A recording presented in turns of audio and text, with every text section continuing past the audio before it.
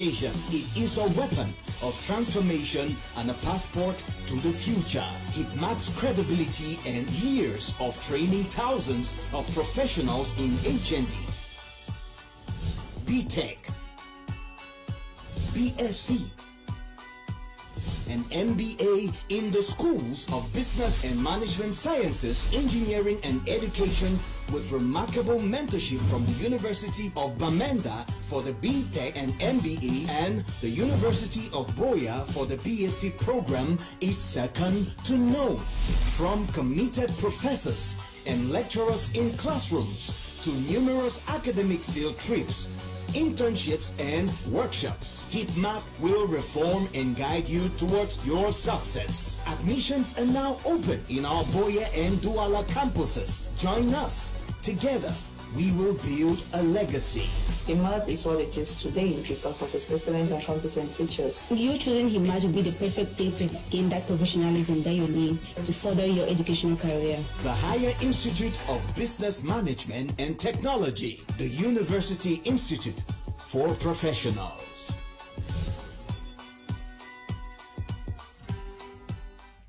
Hello, televiewers. Uh, good evening. Welcome to Prime Hour on My Media Prime. We this day are going to be looking at uh, what is making news in Cameroon.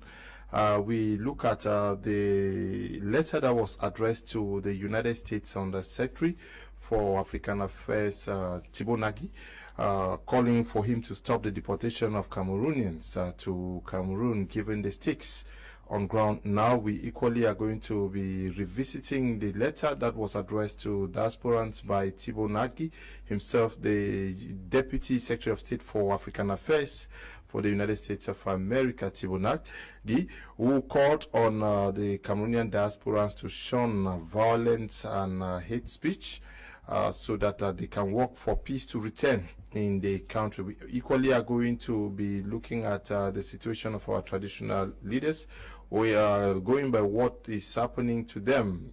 There are increasing attacks on them daily by many quarters. Uh, we ask the question whether it is time for traditional rulers to quit uh, politics uh, for once. We are going to be discussing this with our panelists who were invited for the program. Uh, Dr. Dimancho Michael is in the house with us. He's going to be one of our panelists today. Good evening and welcome. Thank you. Mr. Liu. It's a pleasure to be here once more, and good evening to all our televiewers.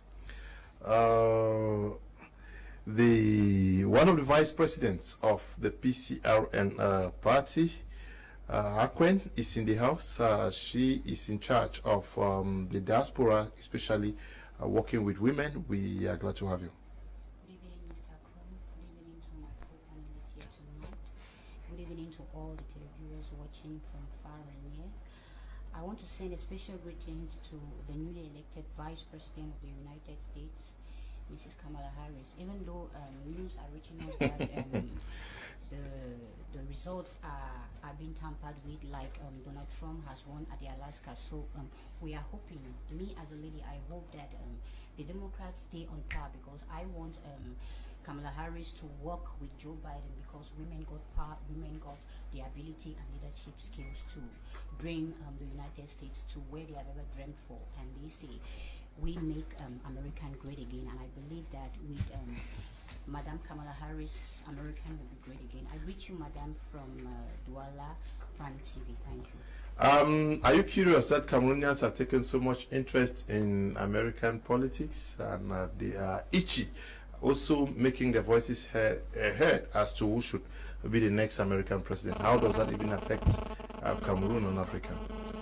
Um, Mr. Pum, I will tell you that um, the American and the, the the way the political atmosphere in the U.S. is going on is the same way it's it's going on in Cameroon because we saw how Donald Trump declared that Joe Biden is tampering with um, the results. So Cameroon and Cameroonians sent their their their their, their board of ELECAM to to supervise the the the, the, the, the elections in the United States. Meaning, for me, it's, it's, it's bizarre, it's funny because ELECAM cannot, um, cannot hold a perfect election in Cameroon because it is a corrupt party. So they went to the United States to corrupt or to, to, to, to contaminate the electoral system in the United States. So to me, I think it's it's it works with the same way. That's why Cameroonians are agitated. They are they talk and they say Cameroonians are uh, the United States is copying from Cameroon. Okay, the United States is copying from Cameroon. Uh, Dr. Michael Dimachu, are you also surprised that Cameroonians have taken keen interest in as to who becomes the next uh, president of the United States of America? Well, uh, I'm not surprised. You know, uh, we are living in a situation where uh, a very difficult situation in Cameroon, whereby people are looking for the least distractions to get off the scene in, of Cameroon. In Cameroon, and it's like a state we get into states of escapism uh, because we are, are, not comfortable in Cameroon through the different difficulties, the different, uh, uh, the kind of life that we're leading in Cameroon. Uh, the least distraction out of Cameroon shields people's attention to that, uh, and I'm not surprised. And, and, and, of course, uh, people, it is a spectacular kind of election in the United States of America, and something too that marks my attention is the fact that in African countries, no incumbent president would, would cry foul that election has been rigged. But in the USA, it is an incumbent president that is crying foul that election has been leaked. So it is something that is a novelty in the world of politics. So of course, we are learning actually uh, uh, for the first time uh, as far as African politics is concerned. And I think that it could also be something that could be copied in, in Africa, that an incumbent president should think that election has been rigged. Uh, and, and it, this, this, this is a high proof of maybe another way of democracy, you know, to show that actually the incumbent president is not in, totally in control of what is happening. Yeah, we've, yes, seen, yes. we've seen videos of uh, some persons who seemingly are tampering with um, the process. Uh, these are persons that are expected to be neutral. The same way political parties are calling on members of ELECAM to be neutral. Exactly that. And uh, where else will you see, apart, if not in the US or in Europe, where, I mean, uh, as I was talking about, uh, you, in, Cameroon, for example, you find members of ELECAM who are actually doing that for the incumbent president because if you are caught doing that for the opposition, I mean, you only have your own family to cry and like somebody said, the, the bereaved will be buried. And, and I think uh, it's a good lesson. It's a good lesson for all of us uh, sometimes things like this should come for us to be able to learn about few, one or two lessons to be able to implement in our own democracy. And we are seeing actually America is teaching us a lesson that, uh, I mean, no matter how democratic a country is, there is one time that we are also going to have some irregularities. And, and I, as I usually say, there is no universal democracy. democracy is according to the country. And universal democracy is according to the people.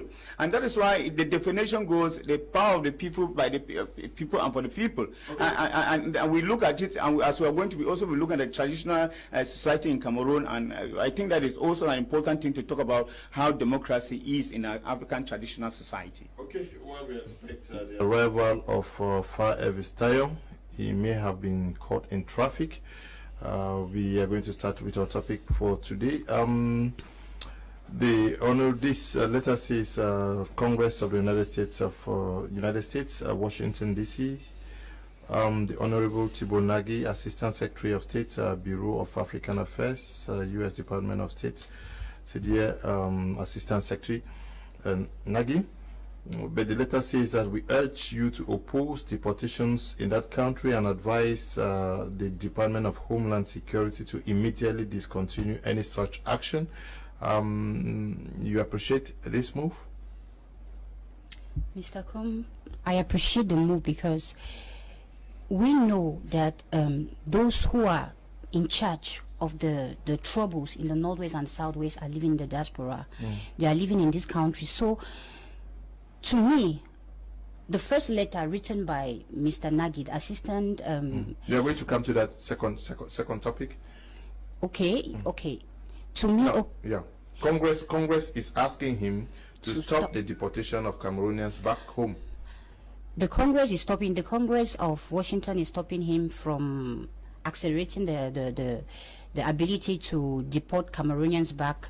To me, I do not appreciate it because it's a plan act, because these guys do not want to come here.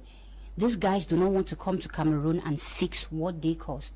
they do not want to come to Cameroon and arrange the problems they caused. Because to me, it, it, it, it's, it's, it's it's something that was not supposed to even be problems to them because when we see what they say, they said they want a dialogue. You cannot dialogue from where you are. You need to come to Cameroon, sit down with the government or sit down with those involved and talk about the problems that are causing the Northwest and Southwest crisis.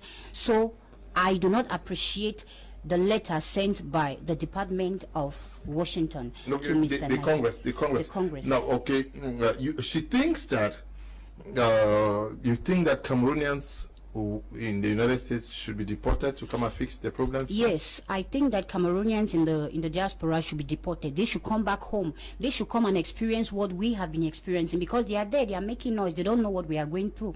They should come here, experience what we are going through. I think that they should even come back with their children here, send them to Bamenda, Northwest and Southwest, so that they should test the atmosphere there.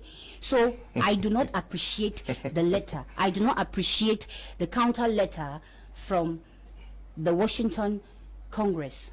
Okay, uh, it says the Department of State has been clear about the rising violence and instability in Cameroon. Just this past uh, Friday, November 6, the United States Embassy in Yaoundé condemned the continued escalation of attacks on civilians uh, for the civilians in the northwest and southwest regions in the country, declaring that uh, the attacks showed absolute disregard for the social fabric of communities. To, to say that this is coming from the United States and it clearly, detailedly um, explains what is happening in Cameroon. Is it to say that there is a close eye by the Americans on every aspect that is happening back here? Of course. Uh, uh, you'll be shocked to know that there are many more people, uh, not only in America or in Europe, who are, are, much more aware and informed about what is coming, happening in Cameroon than we, we do. Uh, you know, the world now is uh, is a village. You know, information now uh, goes widespread, and, and unlike those the days of the UPC, you know, early days of independence in Cameroon, where uh, many people were martyred, many people were killed, many people were brutalized, and there were no images to show proof of. And, and, I must tell you, you know, the, the, the war of the in the, in the Bamileke land, the Pays Bamileke, and many people died in, in, in, I mean, in the darkness, and nobody could send this information to the world.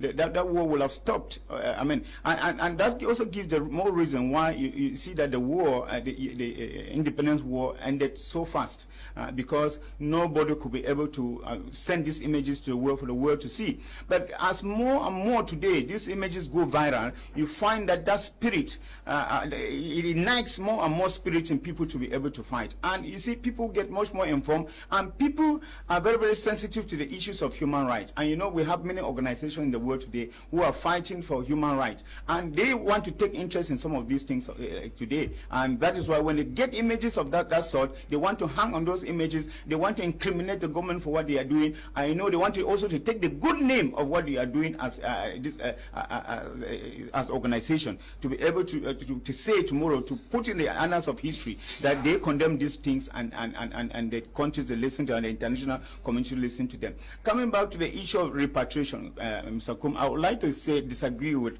my co-panelists who say that, I mean, to de deport people, I mean, people to, have the right to travel. And if people, the, the, the deportation is because of the, the Anglophone issue, I think that it is actually wrong for, for, for, for, for the American government to do that. It's just like somebody runs from the war zone in the northwest and southwest and comes down here to the littoral or to the center, and then you want to send him back to the northwest and southwest to go and fix the war.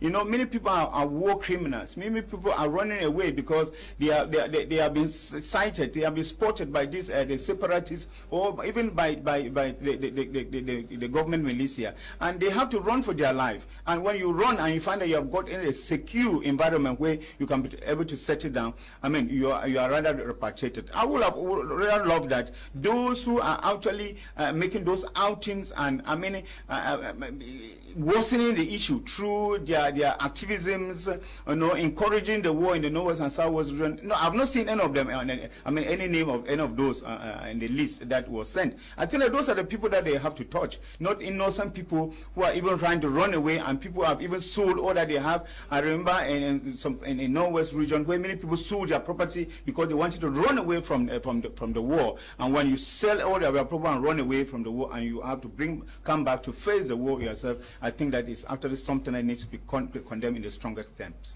Yeah, but they are raising the issue of uh, calling uh, those involved book, that is uh, sanctioning those uh, that are involved in uh, the human rights abuses in the southwest and northwest regions on both sides. Uh, what is he holding uh, the United States to press for clear sanctions? It is true, it started already, but holding back military assistance to the Cameroon government. But practically speaking, what is he hold? Are they still studying the level of human rights abuse in Cameroon?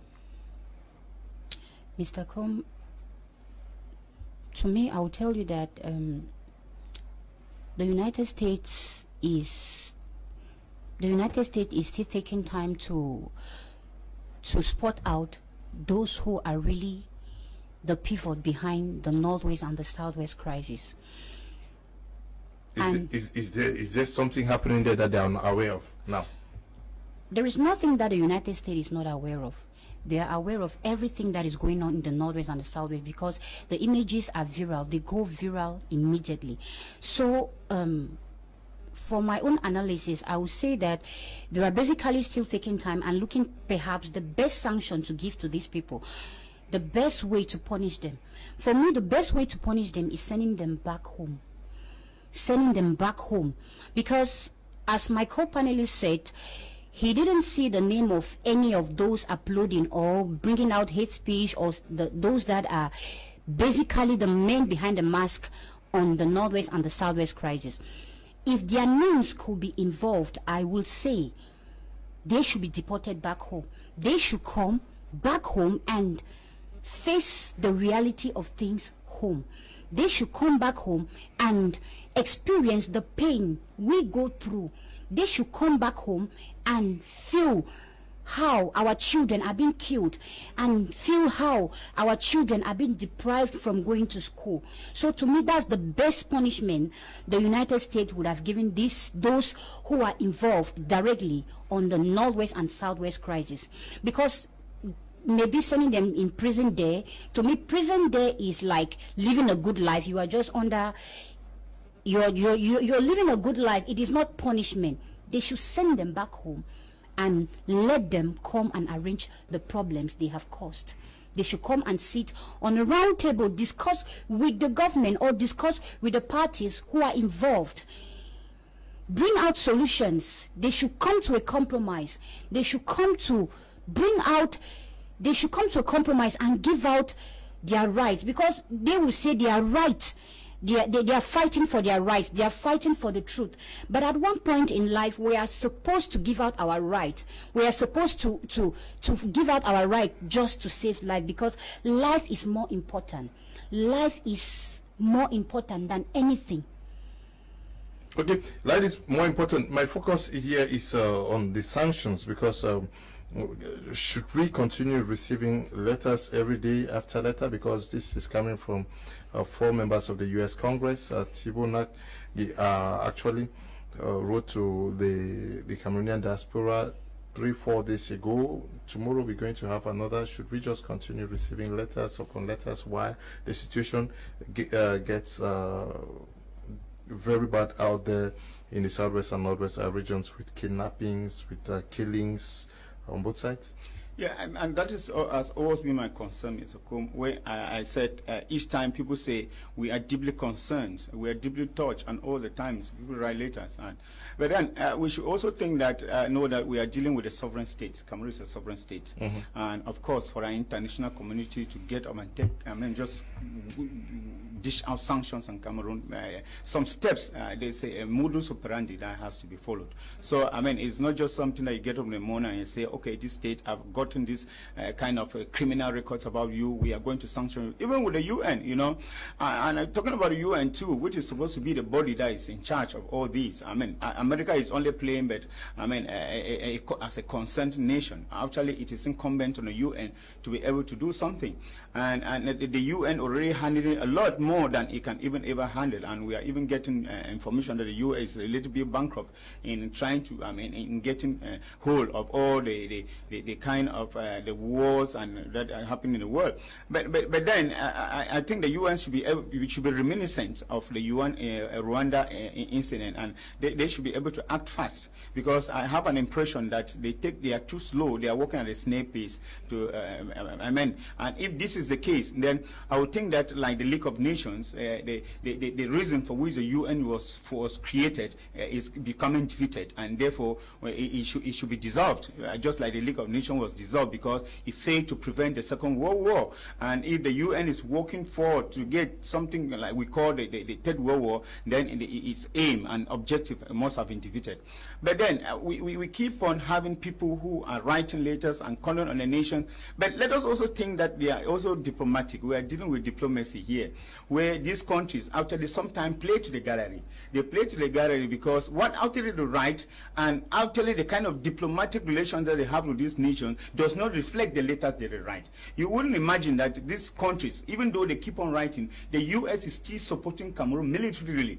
Even, even when some international organizations have cried foul and, and has asked the U.S. government to stop sponsoring military intervention, uh, military uh, uh, training in Cameroon because the bees, the, the, bees the, the, that the, the, U.S. they train in Cameroon are the very bees that are sent to the north and south region to be able to butcher and brutalize our people. And people have been condemning that. But the U.S. doesn't it doesn't give a, a listening ear to that, but they prefer to write letters. Well, it is diplomacy. We accept that. It's just that we talk about the Boko Haram. At the time when the Boko Haram was very, very, and it's an, a, point where we are talking about looking for a solution is the time that America sent over 300 soldiers uh, to the north.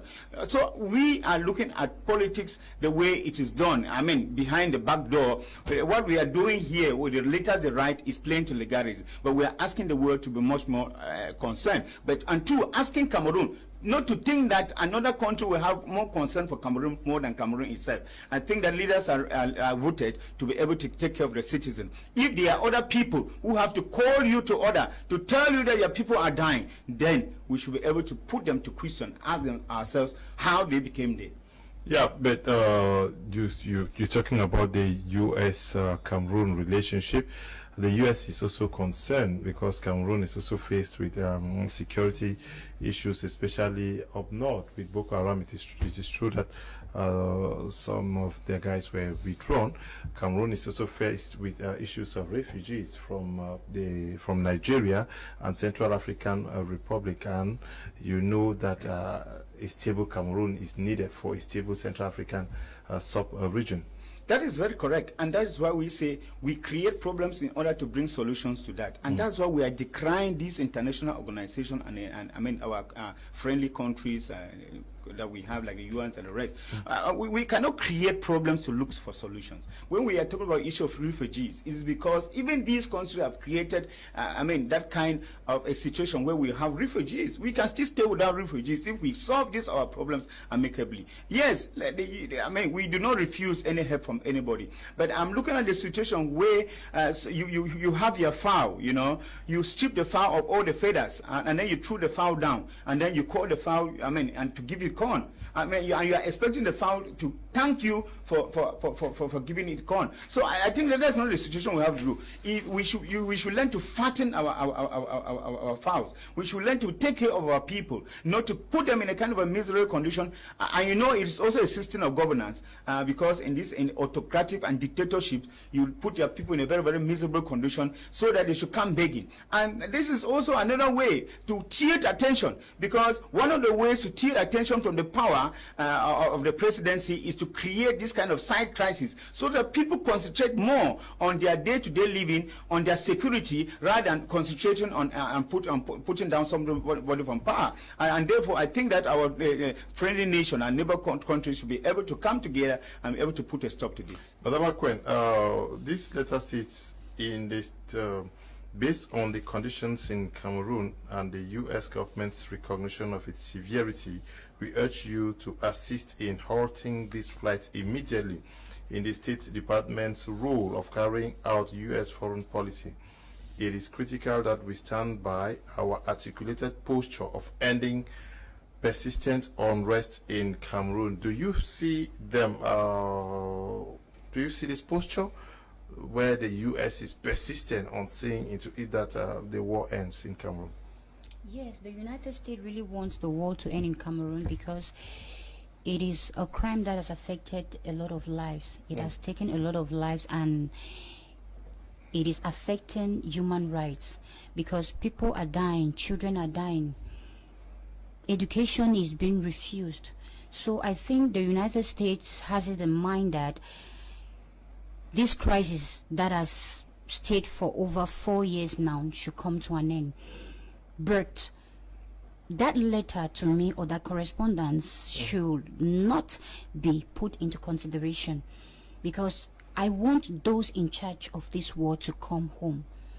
I stand for the fact that they should come home. That letter or that correspondence should be ignored. It should not be put into consideration mm-hmm. because these guys are there. They don't know what we are going through. They don't feel the pain we go through. They don't understand what we go through. But they are the men behind the mask who caused these problems. So, to me, that correspondence that the Secretary of African Affairs mm. should stop the process of the deportation of Cameroonians, which will take place on November 10th, should Today. not should not be effective. Mm. Should not be effective. He should ignore that and continue with the process. Okay, you want you want uh, them to come back home, but uh, this letter actually gives a very um, gloomy picture that the situation is dire back home, and it will not be wise for these guys to come back home. Um, one some persons uh, wrote to me when they saw this this topic. They said, "But how are people living? Are people not living in the southwest and the northwest uh, region? Uh, they are not. They are not dead." But, but I, I think that uh, uh, uh, having the choice of where to live is a human right. It's, a, it's, it's enshrined in the in universal rights, uh, UN universal rights. Um, and you can't impede somebody. You can't disturb somebody to live wherever he wants to live. Uh, and I don't think that it should be. A, it should call for any noise for people to think that okay, people have run out of Cameroon to live in the United States. What about those in Europe? What about those in Asia? Are they also going to be deported?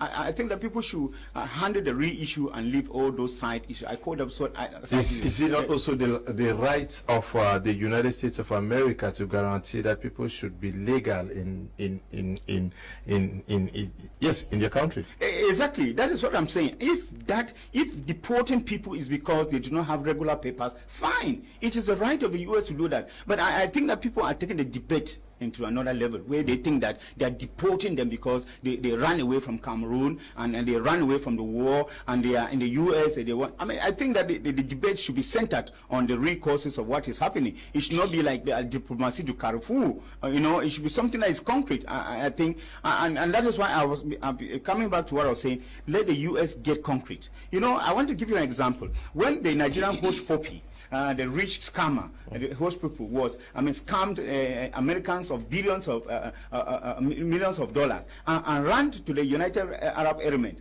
What happened?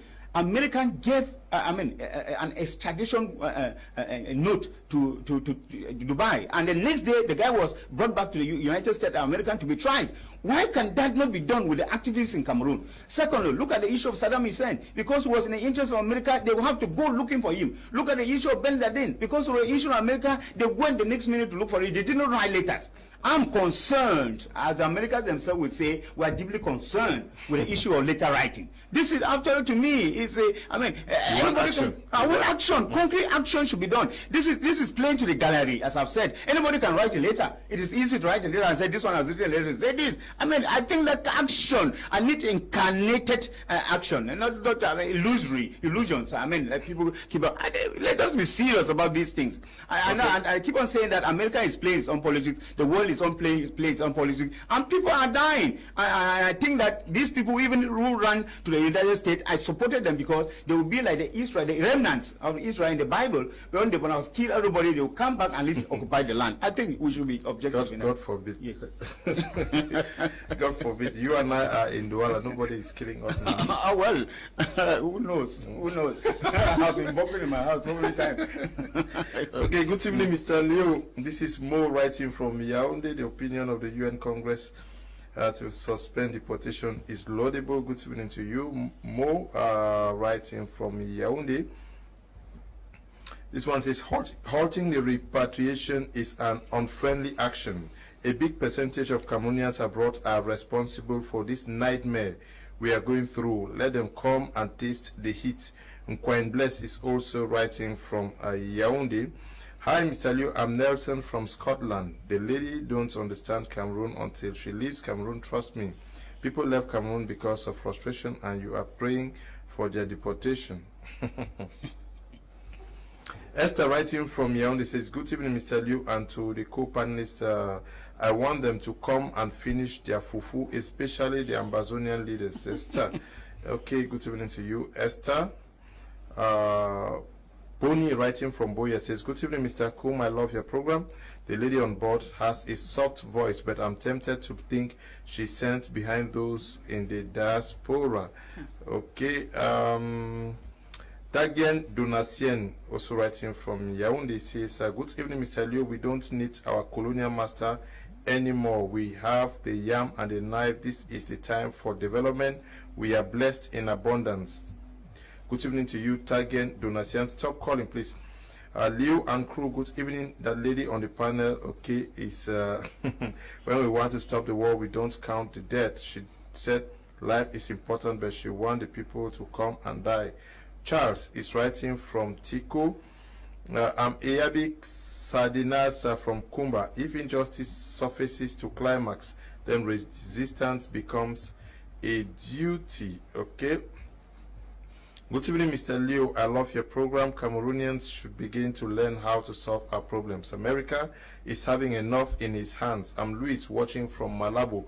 Okay, we look at our second topic, uh, which has to do, is still going to uh, be concerning uh, the United States and uh, Cameroon with this call from uh, the Undersecretary for African Affairs Tibor Nagy to, to Cameroonians who are living in the diaspora to shun violence. Uh, are we going to see this call hitherto?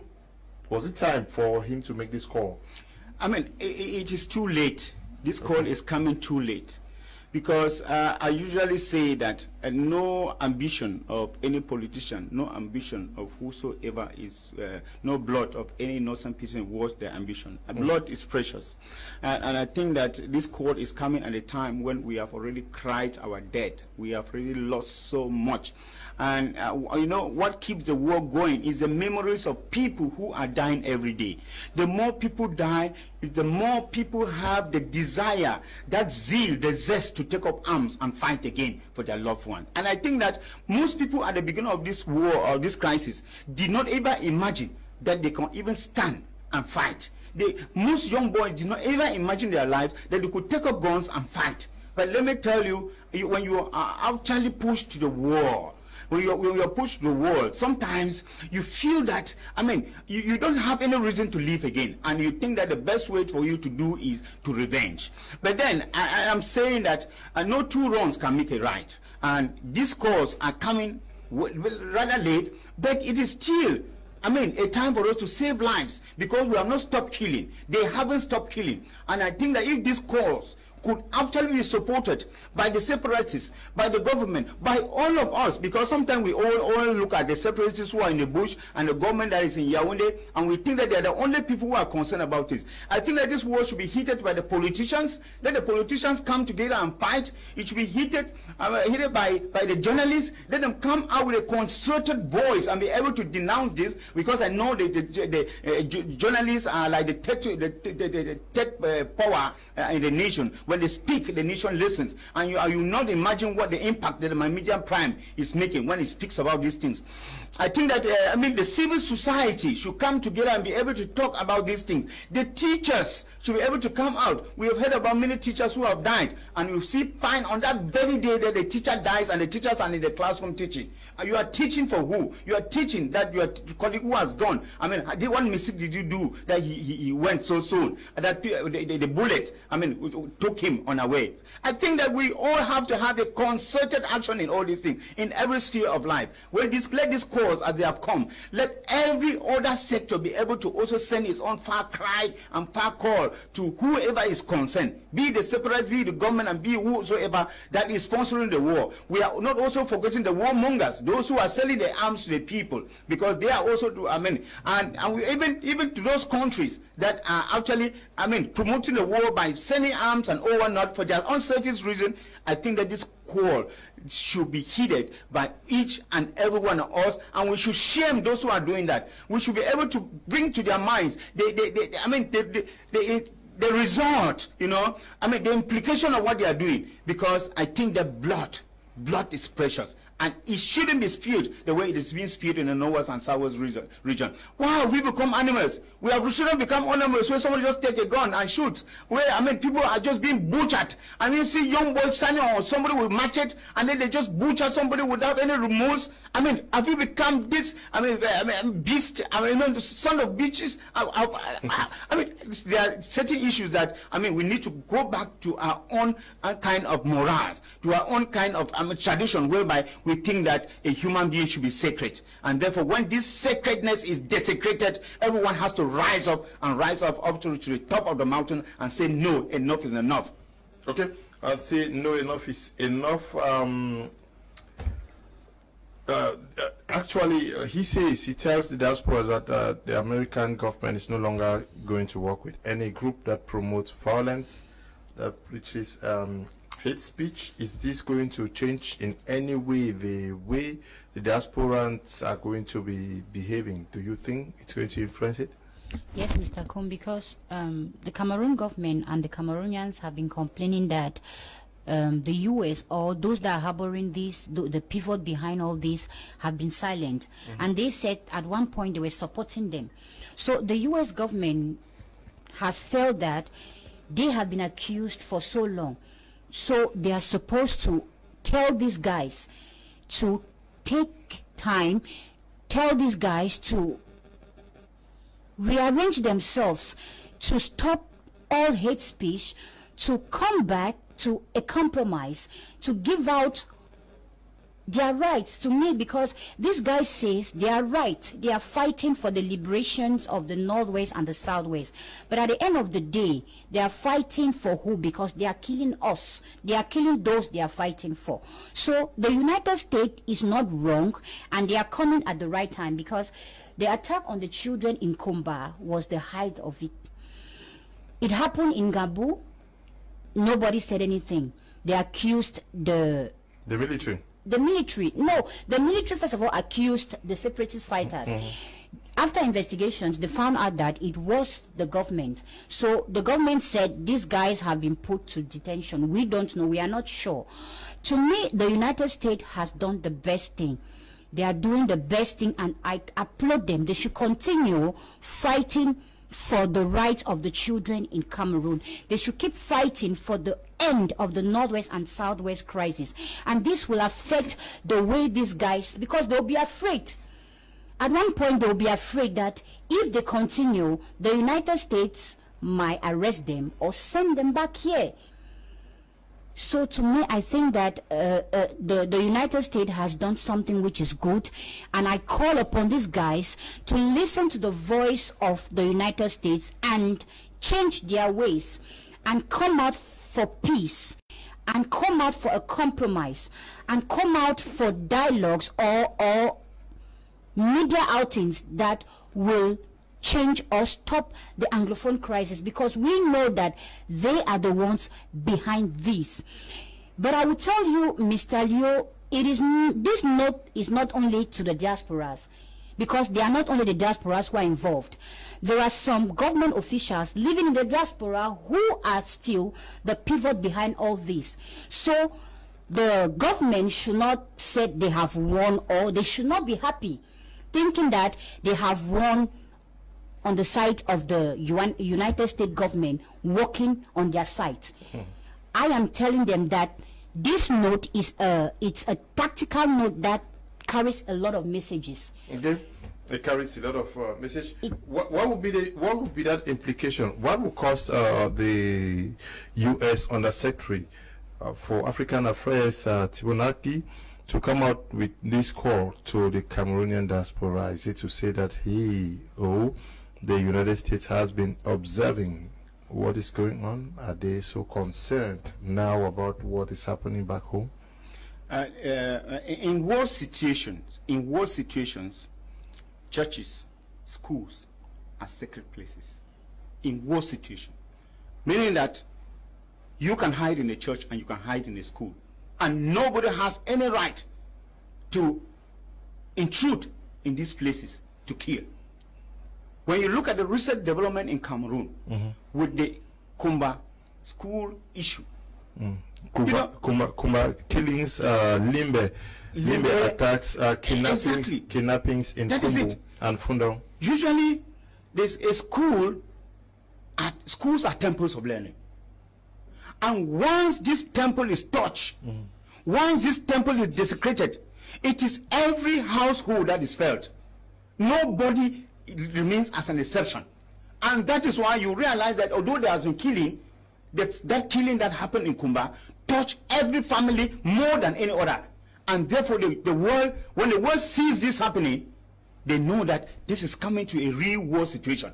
That people have to actually intrude in these places, which are sacred places, and kill children, innocent children, children who do not even know anything about what is going. And then you intrude in these places and kill. The world cannot stand indifference any longer. And I'm sure that I remember that even Tibor Nagy condemned this, and the word condemning is the strongest term. And this must have been what has caused the U.S. through Tibor Nagy, who is in charge of African affairs, to come out and call the African diasporas, who didn't even condemn this. This is what is intriguing about all this, because all of these activists, very few of them came out to actually say that what happened in Kumba was a wrong thing, and that we have to be able to to to to, to, to, respect and, and, and, preserve uh, th- th- these places and our children most of these people rather took it and politicized it. This one said it was this, this one said it was this. I think that there are certain situations where when something happened, we forget about our differences and condemn what has happened. This is what was supposed to happen in the issue of Kumba and Kulu and all the other places. That we should forget about the differences and condemn this to the strongest terms. But rather, we rather we realize that people rather went further into their differences. The differences either rather widened, and then the U.S. is like looking. We thought that these were actually people who were supposed were out to solve the problem of Cameroon. These activists, we thought they were out to be able to assist Cameroon solve its political crisis. But rather, they have realized that they are rather jubilating when something things like this happen. And the U.S. has to hit a hand on the table and say, now we have understood that you are not actually out to be able to fight what is happening in Cameroon. You are out for personal gains. And now he calls them diasporas. He's not even calling them actually who- those who are fighting with him. He calls them diasporas. And this should send a warning to them. The fact that that name has been changed, that nomenclature of actually being uh, freedom fighters and whatsoever uh, uh, uh, at the IG and all those things, there is no more name of that nature. It means that rather than looking at them as freedom fighters, because that is what happened in a country in crisis like Cameroon, whereby although uh, the, the government looked at them as terrorists, the international community looked at them as freedom fighters, as liberation movement. But now they are no more regarded as liberation movement. They are now regarded as simple people who are hiding somewhere in America and Europe and trying to instigate people back here in Cameroon. And they are all names under the name or their code name diaspora. And therefore, those diaspora, without any distinction, without any name, whoever you are and wherever you are, you should know that we are condemning this. And the next step is going to follow. Watch and see what is going to happen. Okay. Uh, good evening to all in the studio. The lady is saying that separatist leaders should be repatriated. It sounds okay. But what if they are killed? Think of what the government can do. Monzi is writing from Limbe. Um, Akwen, Yes. uh, what he says that is possibly because of what happened in, in Limbe and uh, in Kumba, especially, and Kumbo, Now, have they? do you think that the American government may have waited also for so long impatiently to see uh, that things really get organized on the part of the Cameroonian diaspora and that they have not seen that coming? Yes. And they are afraid that um, uh, uh, even worse things may happen in the days ahead. Yes, Mr. Kum, because the, the United States government has been watching. They have been patient. As my co-panelist said, at the beginning they thought that these guys were fighting a just cause. But at the end of the day, they realized that these guys are the ones uploading the war in Cameroon. They are the ones who are in charge of the war in Cameroon. So they had to come out with a warning. To me, it's a warning to them to change their ways. It's a warning to them to come to a compromise. It's a warning to them to give out everything they hold dear for the peace and serenity in Cameroon. So I think that the United States government was patiently waiting. It is not as if it is the Kumba crisis or what happened in Limbe that just made them. They have been patient. They have been looking at the diaspora, how they are behaving, what they have been doing. They have been studying them closely.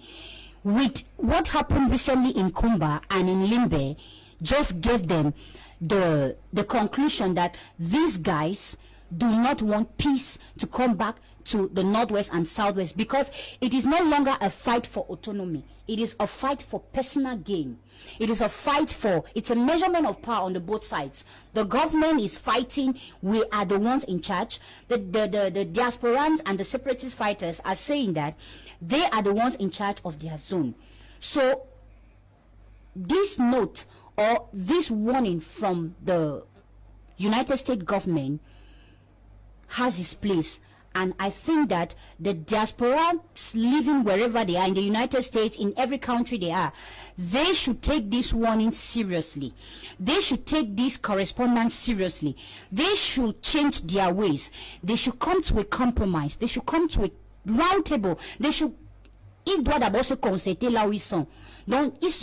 Là-bas. Maintenant, il nous dit, we have decided that we are giving up. We have decided that they should send what they want to the government. They should write down what they want to the government that we have decided that we will come to a ceasefire. We have decided that schools should go back in the northwest and southwest because I do not believe that the government is the one who do not want children to go back to school. It is the separatist fighters who do not want children to go back to school and the diasporas they are the ones uploading this. Because if you watch videos they say any child that goes to school cut off the leg or cut off the hand.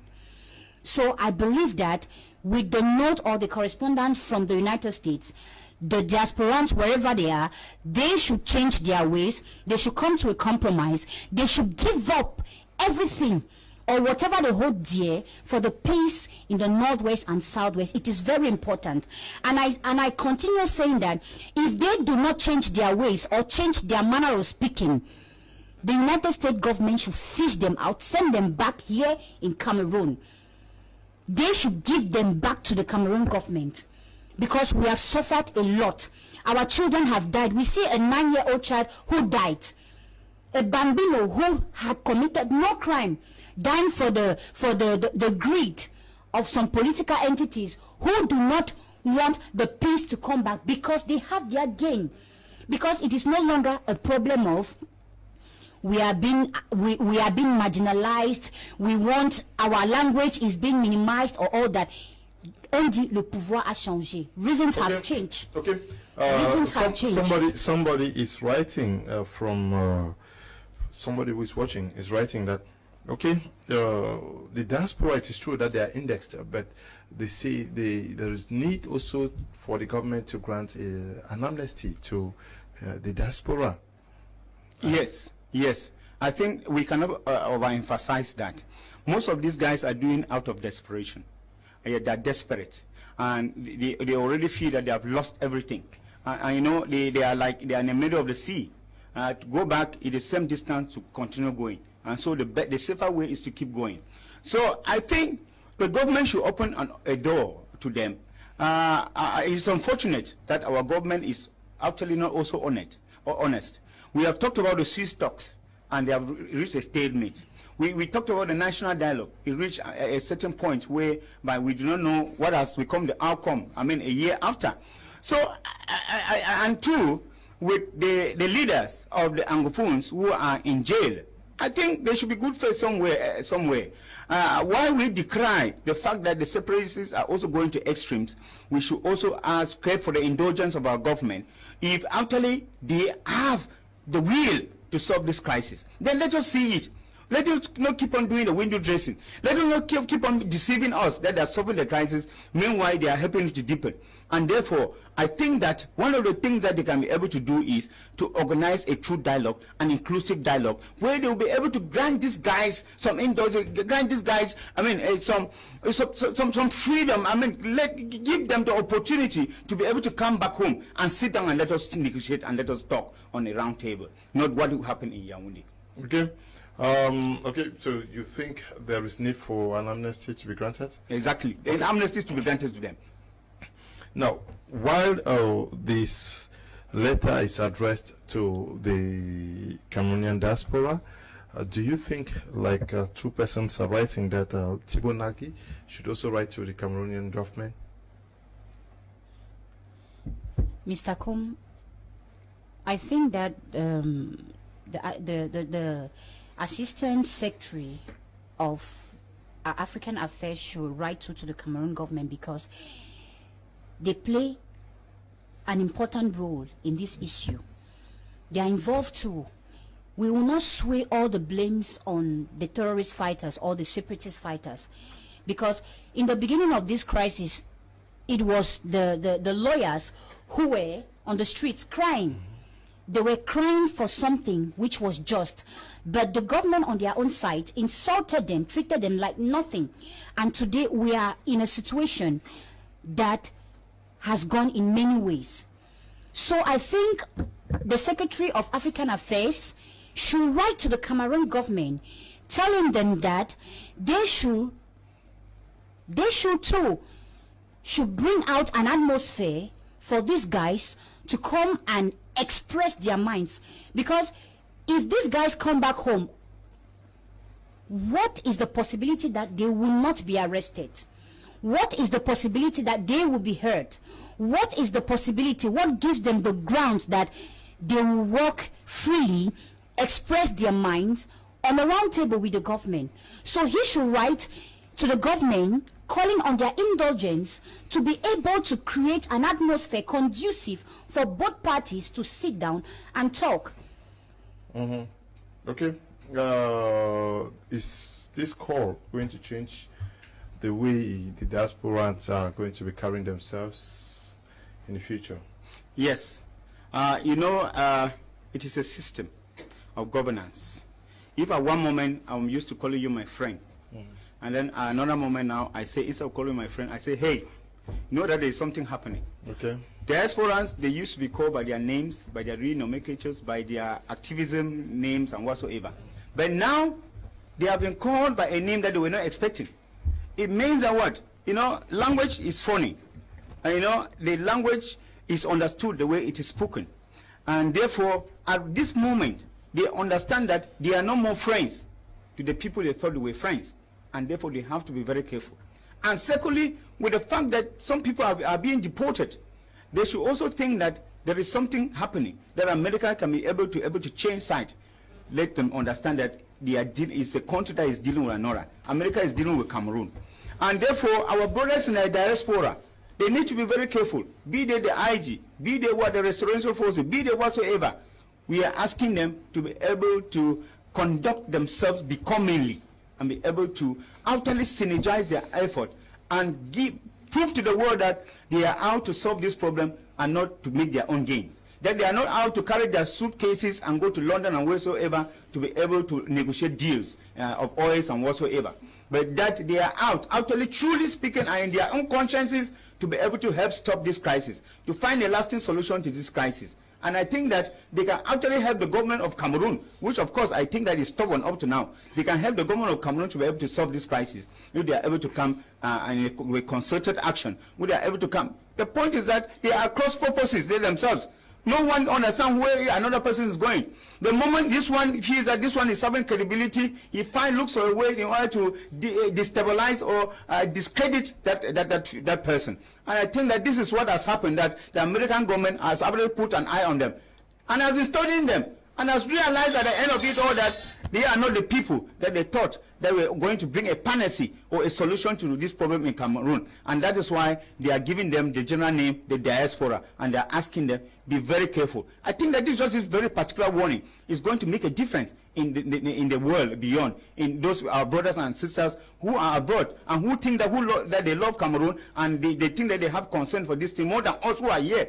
Many, many of us have gone through untold sufferings here while we are here. They are there with their children. They are there with their families. But some of us, we, we, we, we are going through untold suffering here. And I think this statement should sound a warning to them if they were actually working in a very, very in a way thinking that they were trying to make ways to order to have their gains and sign their deal from now henceforth let them know that they are getting into a very very serious issue and they are dealing with human lives Hello, uh, Asa Nelson writing from Douala Village. Mr. Leo, God should bless you many times for this educative program. In fact, your program has made me to learn and know so many things about this, our kangaroo country.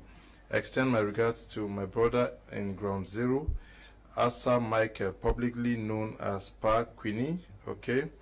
Good evening, sir. Uh, is the program live? Yes, the program is live. You can contribute. I'll read it out. That is why I'm telling you that it's live. Uh, good evening, Mr. Liu. Okay.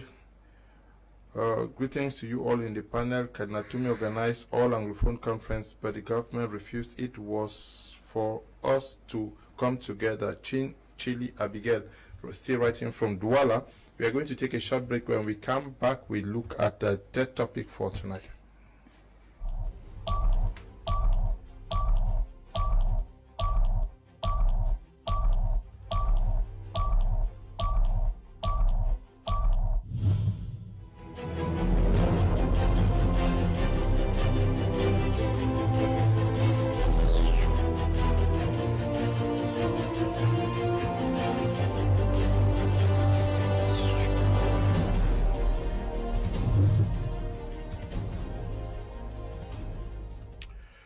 Watching Prime Hour on my media Prime. This time around, we are going to be looking at the situation of our traditional uh, rulers who have been going through hell for some days now. Not only for some days, because uh, they have been killed severally. We can remember vividly uh, His Royal Majesty Isso Ito, uh, who was killed in a Kondo Titi, and a host of other Chief Mbanda, who was killed in uh, Fako Division. Uh, but it just continued because recently another chief was killed in uh, Buea and the Fon of Kumbo was taken hostage uh, released uh, yesterday. We are asking the question whether it is time for the Fons and chiefs to steer clear of politics. We've been joined by um, Fa Tayong Elvis, who is a militant of CRM uh, political party. Good evening. We're glad to have you. Thanks very much. Coming very late at the time when I discovered that the Cameroon is not set for any organization of CHAN and CAN at the same time. Because if you look at the traffic hurdles you get on the way, it tells you that Cameroon is only singing a song. All the parameters that are supposed to be put in place for the organization of the football competition traffic itself will be the number one hindrance to that. Well, I think greetings to the people of Gonoko village, the people of Barakwe, the people of Mbemi village, and uh, all the millions of viewers who are watching us right away. It's my pleasure being here today. Yes, um, your first take on the situation of our traditional rulers. Do you think they are clearly targeted by some people for unknown reasons?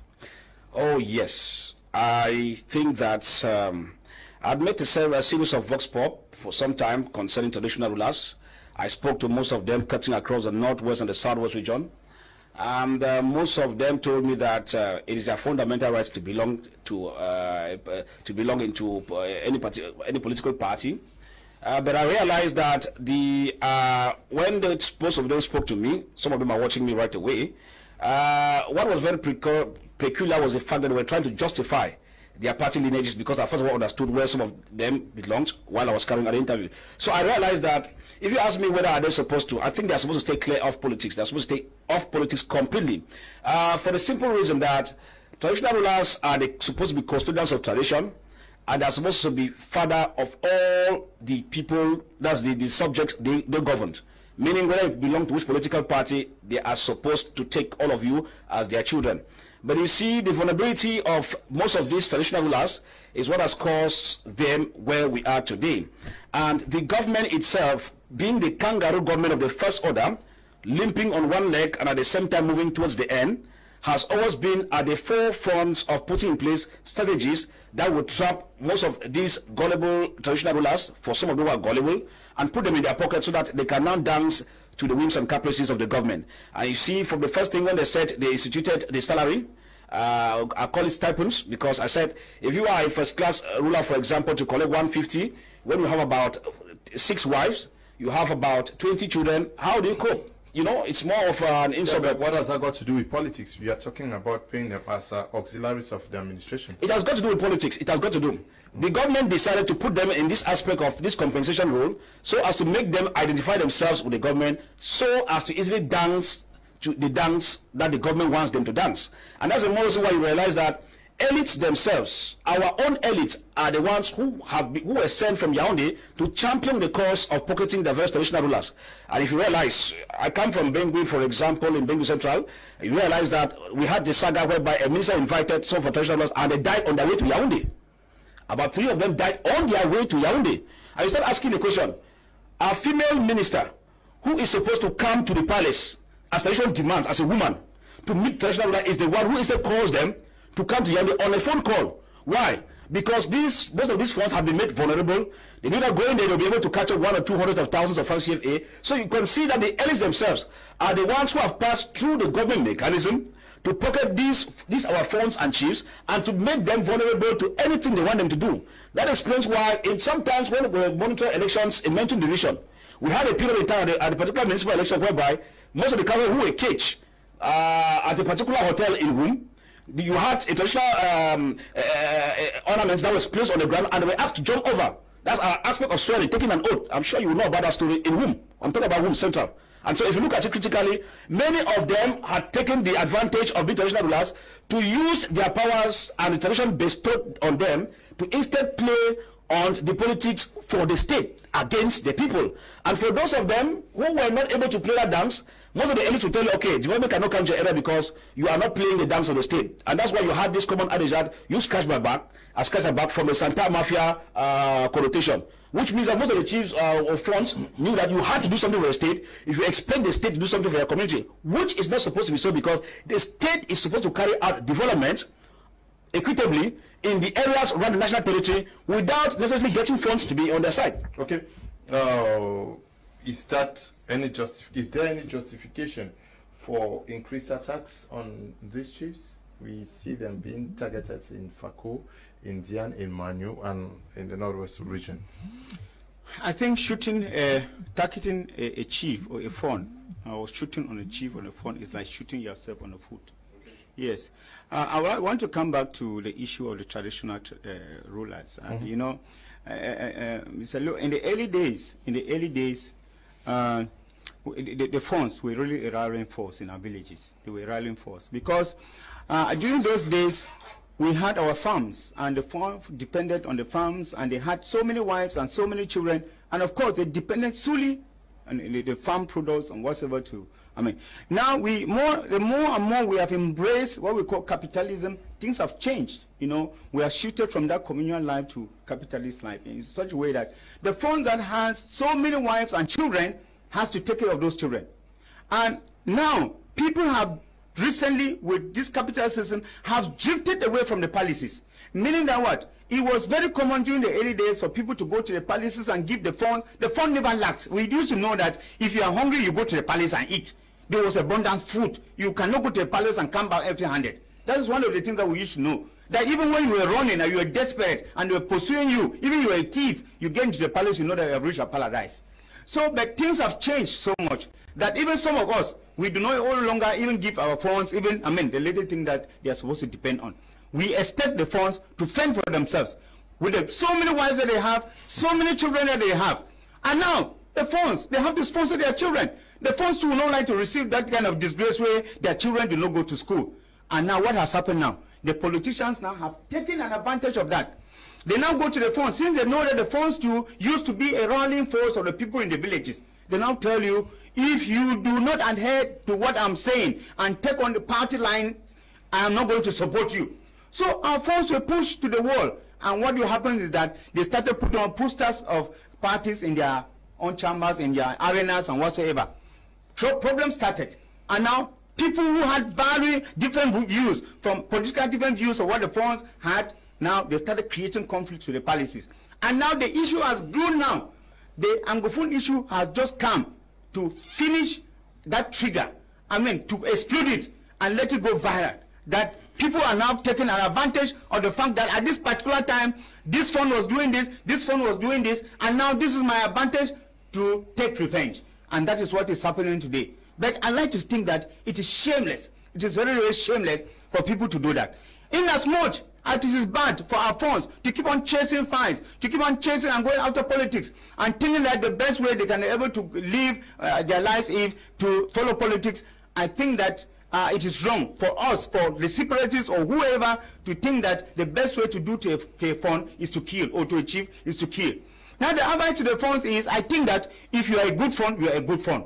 We have had Fons who have run away from their palaces in the north and southwest region. And we have had Fons who have stayed in their palaces up to date and they have not gone anywhere. And they are in their palaces. Nothing has happened to them.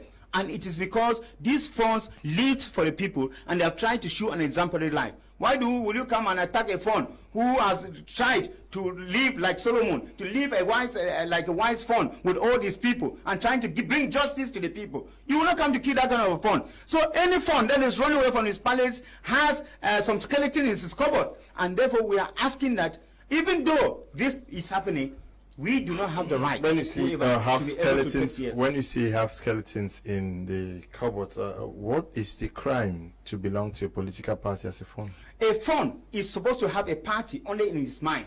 And the exercise of that party is only to be on a voting day. And nobody is supposed to know what is voting. Is that what the constitution says? That's not what the constitution is because the government has tried to be able to toy them around like toys and be able to make them toe the lines. Where is it written? Where is it written that Fons should not belong to political parties? I think that the Fons should not belong to a political party because the Fons rule people who have different views of politics.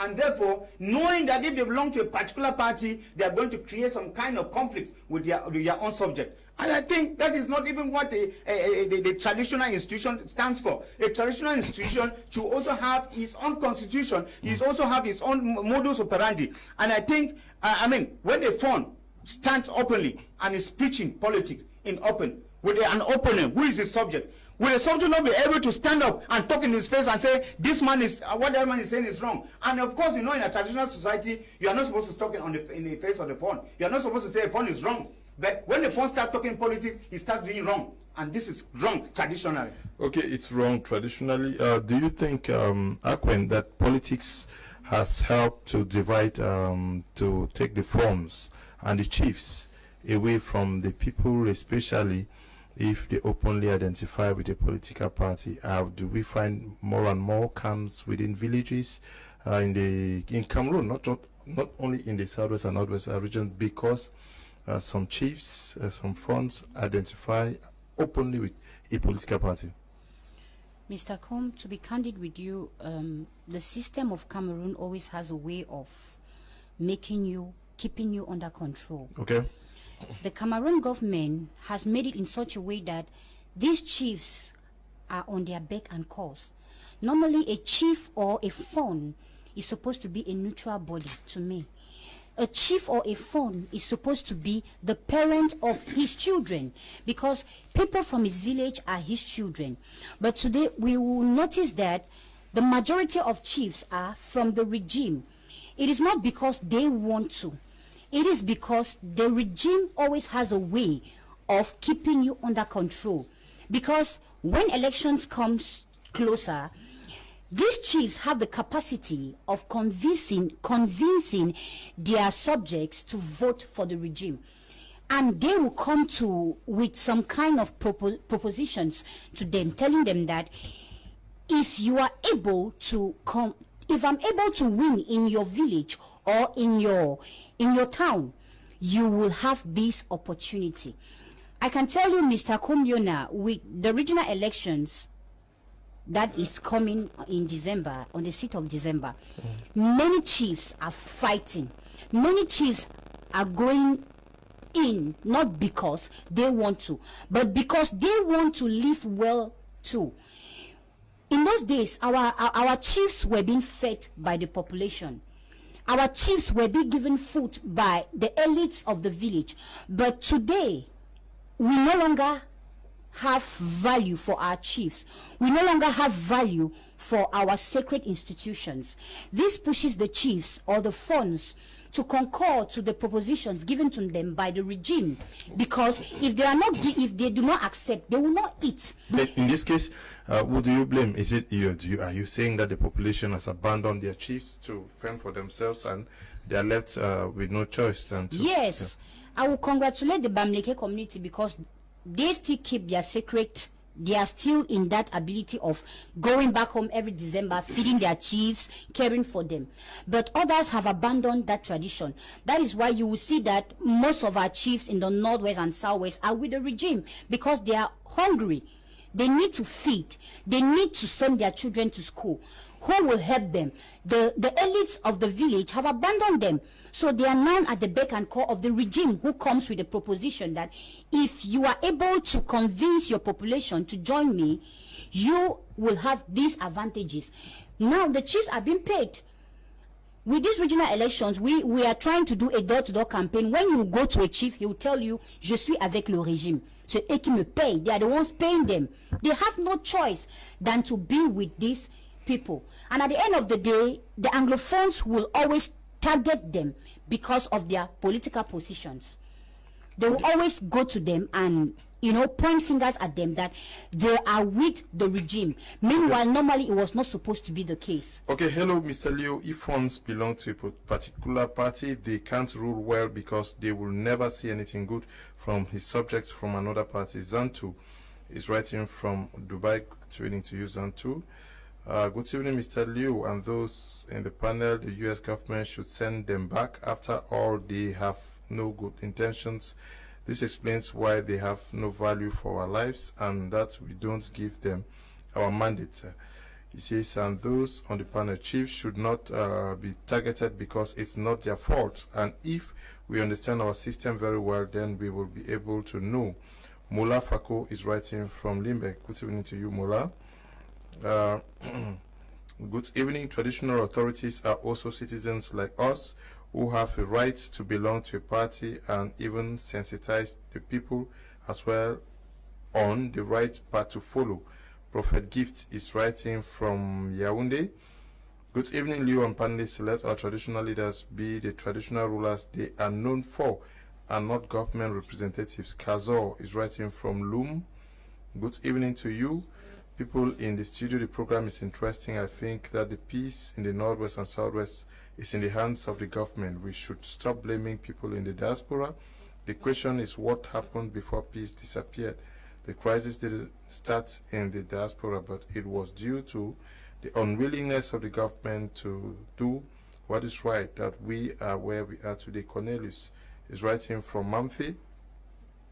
Now we are talking about. I asked uh, him whether there was a constitution in Cameroon that uh, forbids traditional rulers from meddling into politics. He says no, and um, but the chief is living or is working with uh, the traditional council. He has other institutions like the Kwifon and other other secret societies why is it that for the past decades, uh, because this uh, this split between traditional rulers and their subjects actually started in the early 90s when some chiefs identified with this, and then those who belong to other parties saw them as uh, black legs and, and the like. Why is it that this has been going on and the members of the traditional councils are unable to call the chief to order or the funds to order? Uh, these uh, secret societies are unable to tell the chief that the path you are taking is destructive for our respective communities? The main issue in the whole show is that most of the Fons or the chiefs who embraced the regime-oriented method of administration, went as far as corrupting their various traditional institutions. Many of them have been able to get some members of the Kwifon, members of the Traditional Council, have been able to lure them to their side.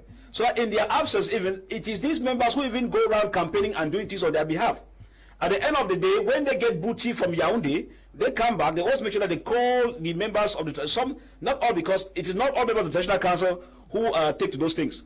So for the members who succumb to it and to the whims and caprices of the Fon, then when the Fon comes from those their journeys or those monies come in, they easily call those whom they know are loyal to them and easily ch chip them something. For those, they know like in my village, we have some members of Traditional Council who will never and ever tell you that they are into partisan politics. So these kind of people, if you look at it, if you're in a particular village, you always be having problems with your Fon. Who is pro-regime and you are the other way around. And sometimes even you realize that if you have even a problem in the village concerning land or the like, the Fon will always want to rule against you because he sees you as someone who does not want to work for him to eat, to have what he has to eat from the regime. So the main issue is that the institutions will not able because when politics sets in, this thing is a carefully calculated attempt. From the time of the 1977 constitution, talking about the structure of the traditional authorities and all the like, calling them as auxiliary to the administration, right up to the present, from the time of uh, President Ahmadu Ahidjo, it was a careful system to weaken the traditional authorities gradually so that it comes to a point whereby they become, as the constitutional state, auxiliaries to the state. You could imagine a small gendarme officer who will remand a, a traditional in, in, custody or tell you go behind the bars. These are things that could not occur when we had the House of Chiefs. In those days of West Cameroon, it could not happen. But today you see it's something different. That you could be given a convocation, you come, and a small police inspector or less than a police inspector or probably uh, what we call a, a garden repair will, will remand you in custody. And it was. So if you look at it critically, the problem is that the state realizes that had realized that some particular fondoms and chiefdoms were very powerful. And if you don't put in place a long-term mechanism to weaken them and pass through them to weaken the system, the ones at the point in time make the decision difficult to go through the activities. That explains why, as we talk about this issue, it's not all the traditional rulers who have embraced the politics. If you look like the friend of Baba One has never been into party politics till today. And so when I talk with him from time he tells me he does not want to be caged. And that is true. So what happens?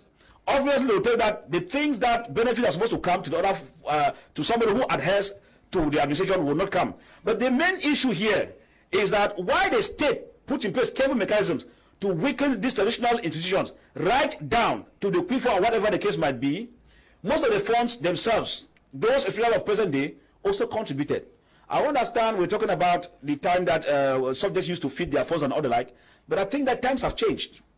And the modern Fons for today, they now know that you have to work for a living. Now, I spoke to some of my friends in the Mbengwi central area, and I asked them, if you keep on playing the politics for the Yaoundé regime, as one of our ministers and the rest of the elites are luring you and taking you to the regime with little or no benefit, why can you not tell them to get you a befitting job if they mean business for you? Because all I got was that they had were striving to live. So you discover that the regime itself will not also want to place you very well. They can give you titles, uh, chargé de mission, uh, member of the central committee, but to put you where you're supposed to, they don't want to put because when you become also well placed, you might become a little bit stubborn at a point in time. So all in all, it's the same system the, the regime uses as far as controlling in terms of economics. Mm -hmm. They let people to be poor. They don't want youth to get befitting jobs. They don't want you and I to be because the moment you start being on your own, you have the possibility of resisting the regime. But when you become vulnerable, when elections come, they can pick one or two youths, give them 10,000, 5,000 funds to rig elections, and they'll be champion for that cause. So, for the traditional institutions, it is something that I said that if you want to bring back the power of the chiefs and everything, first, to make them be the way they're supposed to be, even though many have already embraced the system of the regime, it means you have to go back to the constitution. You cannot say that chiefs and first auxiliaries, no. They are supposed to be part of the administration, working head, head on. When you put them auxiliary, the GOs have no choice than to lord over them. So a GO can, uh, because of this, the GOs, they have what it takes to carve out new layouts. So if you are stubborn, they, you will not benefit from new layouts where you can make some money. But if you are loyal to the regime, they can now carve an edge and say this is a new layout so that you eat from it and you become a member of the land consultative board and some okay. of the benefits accrue. Okay, okay.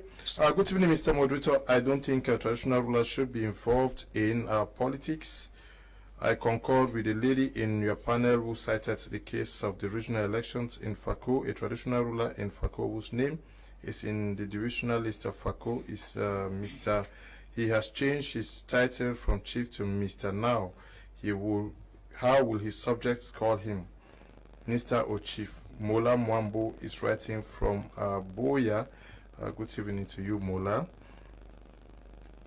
This is Yvette Star from Kribi. Just wish to say that peace in this country can only return only where the truth has been reviewed and it's only the government who knows the truth about what is going on in this nation. Let them follow the everything will be okay. Okay, um, let them follow the Lord and everything will be okay. I think so. Good evening, panelists. Uh, the program is good and is going on well and very educative. I am for the fact that Fons and chiefs should remain apolitical. They should be neutral so as to avoid taking sides with some subjects. If they engage themselves in open politics, it may lead to conflict uh, with them and their subjects. Ahmad Fred, writing from Kumba. Good evening to you, Ahmad. Um, good evening, Mr. Liu. The chiefs are still being fed by the people because before you build a house in your environment, you pay some money today. Palace, Jude is writing from Bamenda. Good evening, Mr. Leo. I love your program. I really good and educated. God bless you. I am Mahmuda, writing from Jakiri. Good evening to you, Mahmuda. Uh, good evening, sir.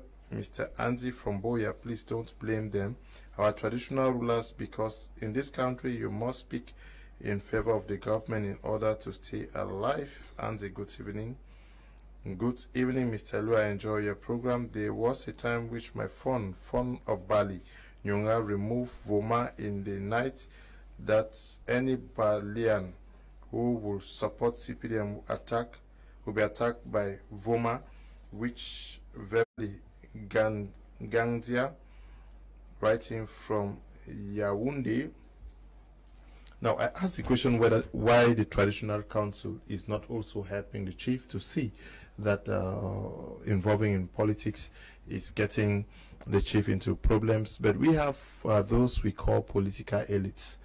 If many persons are writing that they should not get themselves involved in politics, uh, we saying that they have been abandoned by the political elites, elites who know the, the possible consequence of engaging in politics. On the contrary, the elites are rather implicating the traditional rulers. Okay. And that is my take on it.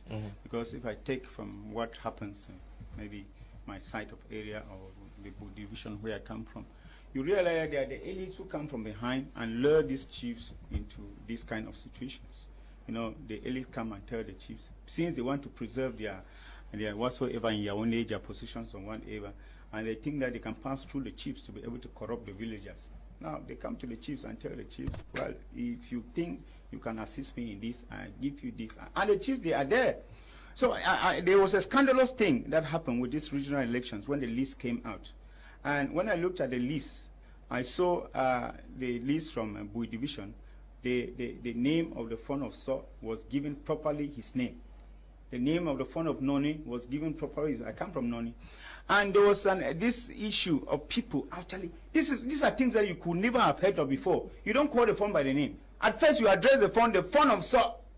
You don't say Sehm Mbinglo. It is wrong. Yeah.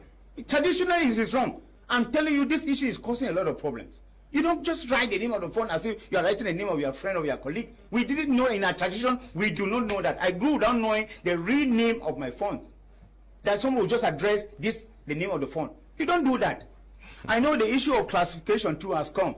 And the Fons are also fighting within them. I want to be first class. I want to be second class because the first class has this money. When they have their unions, they have this Fon riding in this car and coming. So all of these things have caused what we are, is happening today. And yes, it is our system. Now the Fons still want to belong to the first class, to the bourgeoisie, and this Fon want to be considered as a paramount Fon until some Fons are even fighting and trying to put other Fons under them and say they are paramount Fons. These are not things we are, I mean, these are secondary things that we are supposed to be looking at. To me, a Fon is a Fon. Whether you rule 50 people, you are a Fon. You are a Fon of your people. And therefore, this, the politics has come and mixed them up and you find that the Fons now they do no more reason again according to the traditional uh, leanings they now reason on how much they are going to get from the elite And what, just as uh, Mr. Fan said, you find that they corrupt their own subject, the, the traditional council. Because the traditional council too, they are also members like you and, and me. They too need to live. They need to send their children to school. They need to eat. And therefore, when the Fons receive that, in order to keep them, make them keep quiet, and to keep the Kwifon quiet, the Kwifon should never sing again, the Miron should keep sleeping. They also pass some few uh, the envelopes to them. And now you find that tradition is not what we call tradition again. Because what happens to the chiefs today, I'm telling you in the early days, before the 1960s whatever, you would never hear that somebody has, uh, I mean, has uh, uh kidnapped a, a, a, chief. I mean, they were those traditional secret society that were still alive. But we have desecrated them with money. We have desecrated them with things that come from, I mean, from the, um, the, the, the, the, the, politics and whatsoever. And now those, our traditional values, those are secret societies, they too have disappeared and gone naturally. And therefore they come out again. Now a Fon can go missing for the next 100 years and no traditional index will indicate where the Fon is hiding. But in the early days, they could indicate, they could know that this Fon, they go, you used to say they go to the bush and they will find out to know where the Fon is and mysteriously the Fon will come back. So today, things have changed. And that is why we need to have a rethink. We need to go back to the drawing. We need to go back to our values and actually ask ourselves where we are coming from. Let's reassert our identity. If not, many more worse things will happen to us. So the Fon, the elites are not concerned about what um, the Fons go through. Hello, life uh, is for, for himself, and I mean, you know, everybody is fighting for himself. Hello. So when you are a chief, you don't work, we need our children to go to school. Top is writing from Yoke. Good evening to you, Top. Ngupol Ngong writing from Kumba says, Hello, Mr. Leo. I'm Ngupol Ngong from Akale Street, Kumba. I'm happy to see my senior brother, Mr. Michael, on board. The best thing for our Fons to do is uh, to completely leave uh, politics. Good evening to you, my brother. Uh, good evening, dear friends. I really wish uh, that all those so-called diaspora should be deported back to Cameroon. Let's see if they can talk uh, the way they do. They don't even have any control over these hungry boys. Our elites and politicians are what we call comprador elites. Kingsley is writing from Douala. He says, imagine a chief after waiting for long hours only to be received five to receive five savon and two buckets. When he wants to talk, the Jew said he will be removed to the chief. Those chiefs are of the government and CPDM.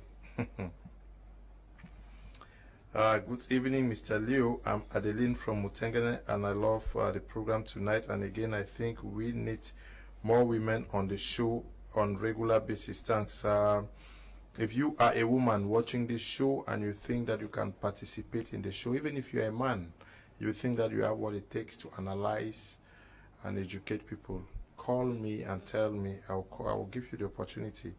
We need many more persons uh, to be part of this panel. So if you are watching and you think that you can do even better analysis, let us know. Mr. Leo, good evening to you and my man, Far Ernest, the chief as very quiet uh, to the chief as very quiet to their traditional things but the government is too bad to involve everybody to their selfish politics okay fred fang is writing from mutengene i don't get what you want to say good evening mr liu is siklas she from Yaoundé, the government have corrupt our chiefs in such a way that they are all confused. They are not more there for the interests of the subjects, but rather for their selfish interests. It's terrible. You see, this country needs uh, prayers. Uh, Princess uh, G, writing from uh, Yaoundé, says, Good evening, Mr. Liu. I support the idea of sending back all those promoting these killings in our country to come and test the bitter pills we have been taking. Okay, good evening to you, Princess uh, G. This one says, Good evening, Mr. Liu. When a woman uh, see that chairs are poor, what about the Fon of Bafuts um, in Yaoundé? Uh, Dennis, okay.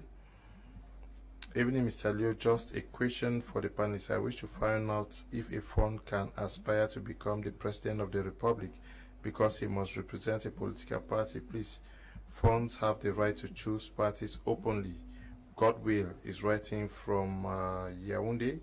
Lots of messages from Yaoundé this evening. Good evening, Mr. Liu and panelists. Please, the government should stop frustrating the traditional rulers.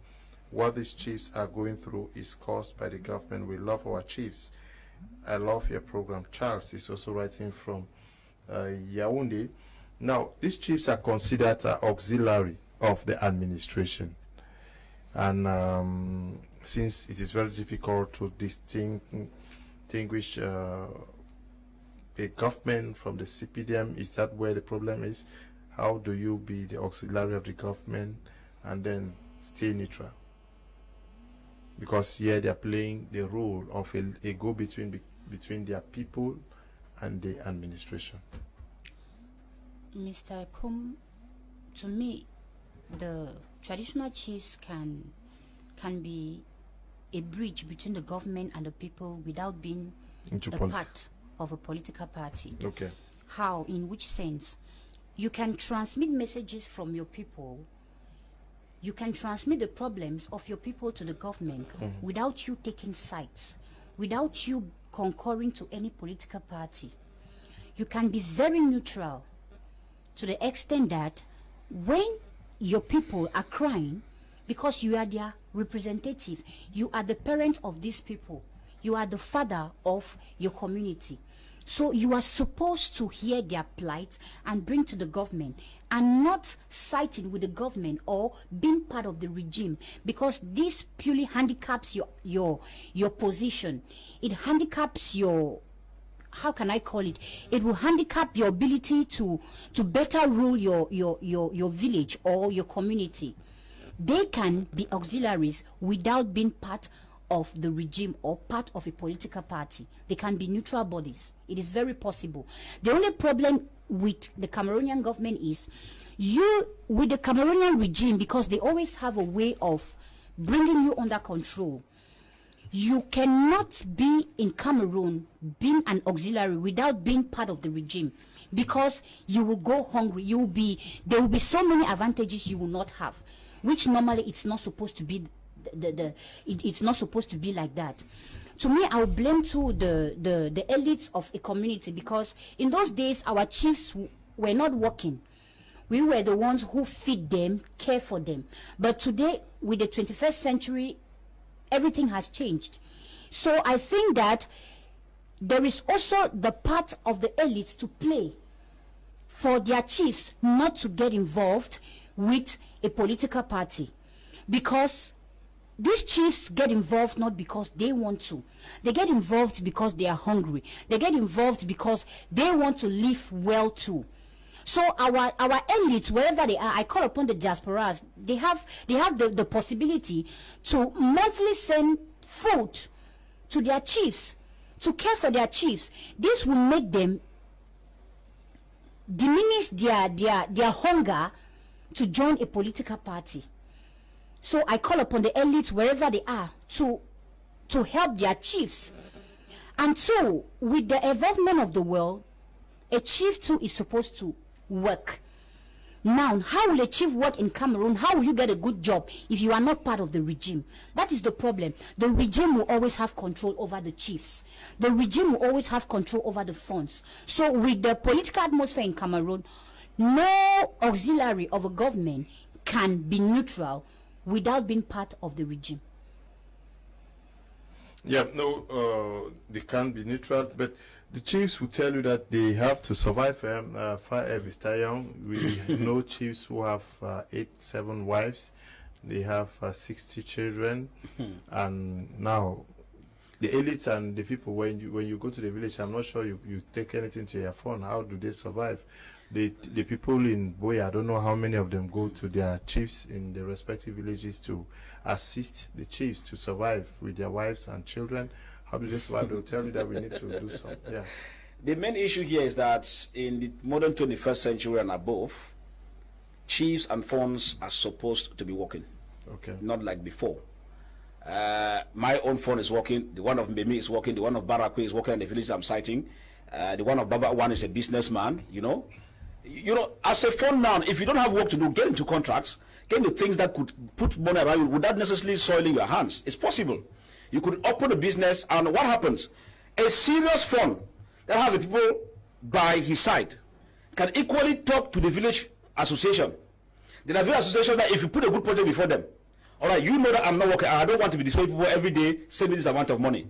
All right, I want to open a supermarket at this place, at this place, and I put two, three people because I cannot sell them myself to run this business for me. I will need about three or four or five million. They could take two, three years project and do fundraising, and you have that money to run the business. Because there is no village development association run by elites that will hear the Fon is not working, and the Fon intends to carry out something or a business to be self-sustaining, and they will not support. So I think that in a nutshell, when you are a Fon and you have what it takes, even if you cannot get a job in the government, you can get your subjects because it's a matter of people believing in you. But if the subjects doubt you because you have doubtful character, it will be difficult for you to put, put a project before them and they adhere to it. All right, we have other villages like uh, we have um, even other villages within the Benue Central, whereby the villages contribute money annually a particular budget and send it into the account of the Fon. Now, a serious Fon, if this kind of money comes your account, you can put it into a, in, in, in, into a project. We have the Fon of Chenam, for example, in in in, in Central, who has a project. He runs an orange orchard. He's a businessman. He runs other businesses in the southwest in Kumba. So you cannot tell me that kind of Fon will sit and be waiting for you to come and buy him over. So at the end of it, Fons are supposed to make sure that they have something doing. I've said if you cannot work in the government, because not everybody can work in the government, even if you work in the government, how much do you earn compared to if you could go maybe private or you put up a business? But the important thing is the moment the people have trust in you as the Fon, put up a project and then go around. My Fon, uh, even the other Fon who had traveled before the present one, used to make so when he has a project, he visits, he makes the calendar and visits all the development association branches around the 10 regions and then set another program to visit those in the diaspora. And all those more are sponsored by the elite. By the time he's coming back, his project has been validated, and before you know it, he's running this project in the palace, he's doing this, he's doing that. I think that Fons are supposed to have this kind of idea. I don't think I'm supposed to be telling them what to do. If you decide to sleep, you become lazy because you want to eat fat from the government. The government is like the devil. He will not give you anything for free. As he gives one thing on the right hand, he's taking the other from the left hand.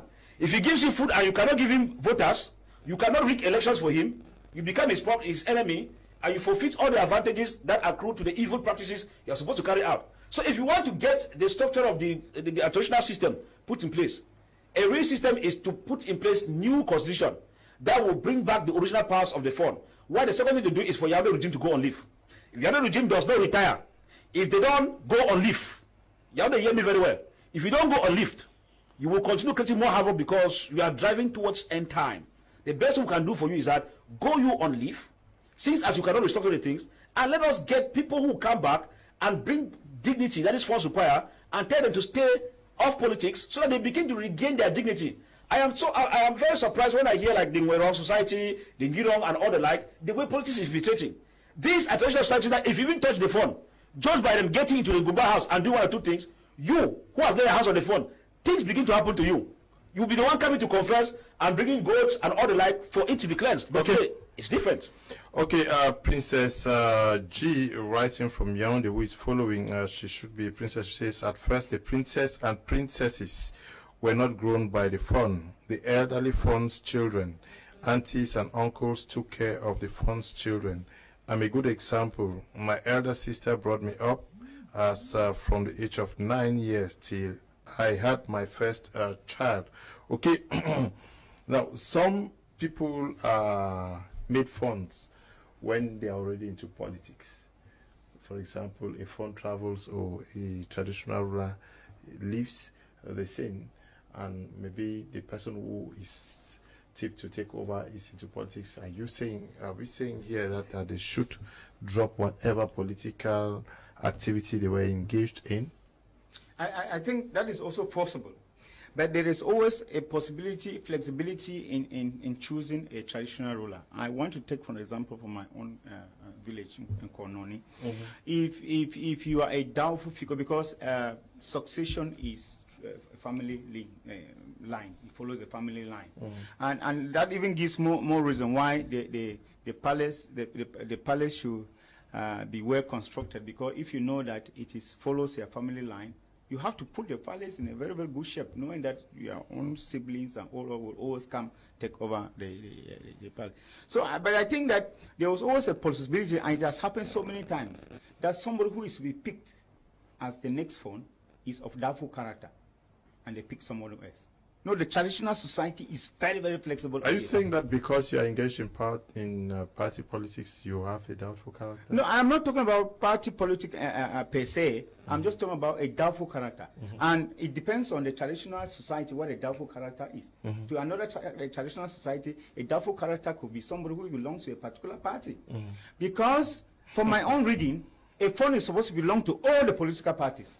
This one brings, you take. The other one brings, you take. The other one brings, you take. You give them advice on what to do. Your essential goal is for the development of the palace and the village. Yeah. You take from all the parties. That is how a, an IG Fon is supposed to be. And therefore, when you come and you show that you are from this particular party, you are already bringing division. Because already somebody from the other party is going to look at you in an askant manner and look at you in a different way. And knowing that you are already an enemy. Seeing politics in Africa is enmity. Politics in Africa, once I'm with a different party, we already become enemies, which is not supposed to be like that. So I'm just saying that when somebody is of a doubtful character, there's always a means to be able to change that person, mutate, and take another person whom the people think they can trust. Because all is about trust there. Eh? Because uh, the, the, the, the, Nigerians will say, long live the king. When you say long live the king, there are attributes of that that makes you say long live the king. It should be a king that is, has sustainability. And sustainability should, first of all, has its first tenet as the traditional roots. If you are somebody who is rooted and empty in terms of tradition because you follow politics there in Yaoundé, I shall for you. You will remain there with your politics.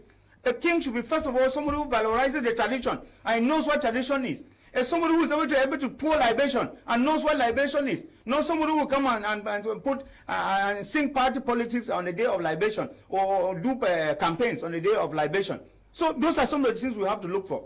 That a king is supposed to be somebody who has the value of tradition, a person who is imbibed in the issue of tradition, a person who is trusted, a person who has grown up knowing what tradition is, and especially these kind of people that you are talking about, Mr. Kum, those who come out who is already in politics, those people are usually of doubtful character because those are people who go to schools in Europe and then they come back, they don't even know the tradition, and then they want to force themselves in to become kings and, and chiefs. Mm. Those are the people of doubtful character. I mean, we have often wanted people who have grown in the tradition, who have seen their fathers who were king, who died, and have learned from them, and they know about the traditional attributes, the traditional uh, uh, uh processes, and they are able to perform the tradition. I think that that's what a truthful king should be, or a chief should be. Okay. Uh, some chiefs, uh, Aquin, some chiefs uh, see they use politics to turn things in the favor of their of their people. Can we say that a chief may engage in politics, get to Yaoundé or any other part, and bring development to his or her village? No, his village. Yes, Mr. Kum, it's very possible. A, a, chief or a Fon of a village can use his political um, mm -hmm. party mm to develop his village. Mm. Because when you are part of a regime or part of a political party, mm-hmm. you may have advantages like if you are with a regime, you might have the possibility of asking the regime to come and tar the road of your village. You might have the possibility to have the to ask the regime to bring light, to bring water to your village.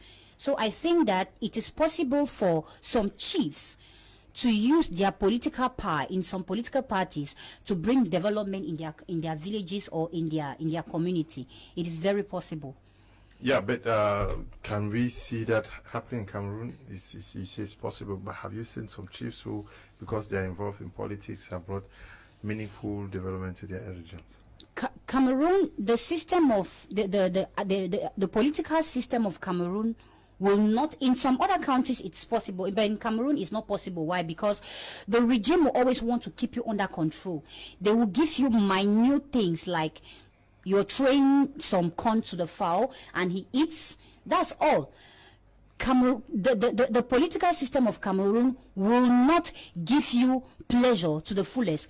They will come maybe during uh, uh, um, how do they call during campaign they give you 10 10,000 5 5,000 they promise you we will bring roads we will bring um, um, development to your country to your village just because they want you to convince your elites or your community to vote for them. And they tell you when you vote for us we are going to develop this place. At the end of the day you find yourself having nothing having nothing. But the chiefs will remain with them because they need to eat. They need to. They, they, it is the government that pays the chiefs. It is the regime that kill them money, on les donne un peu d'argent.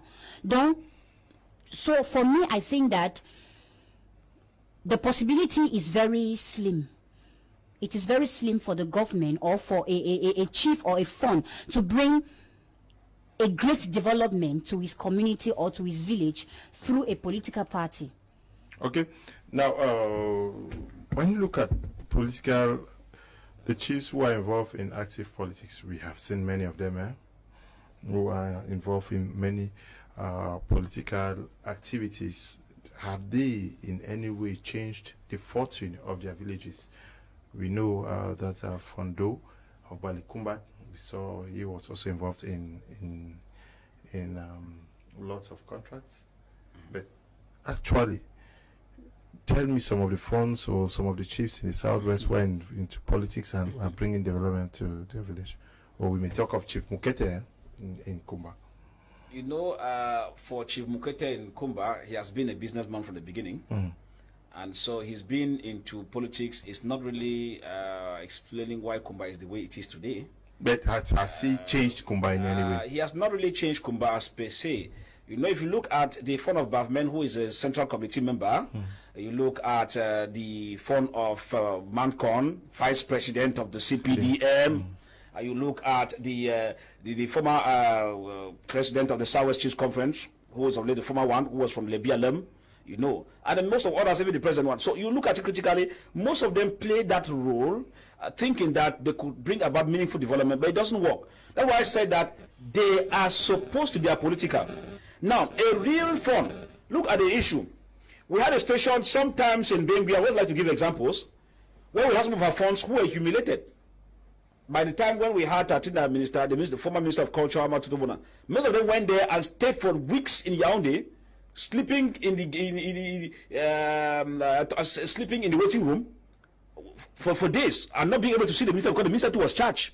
So you could imagine that kind of humiliation that you can go somewhere while others are waiting you to go and sit. Our Fons are not supposed to go somewhere and sit and wait.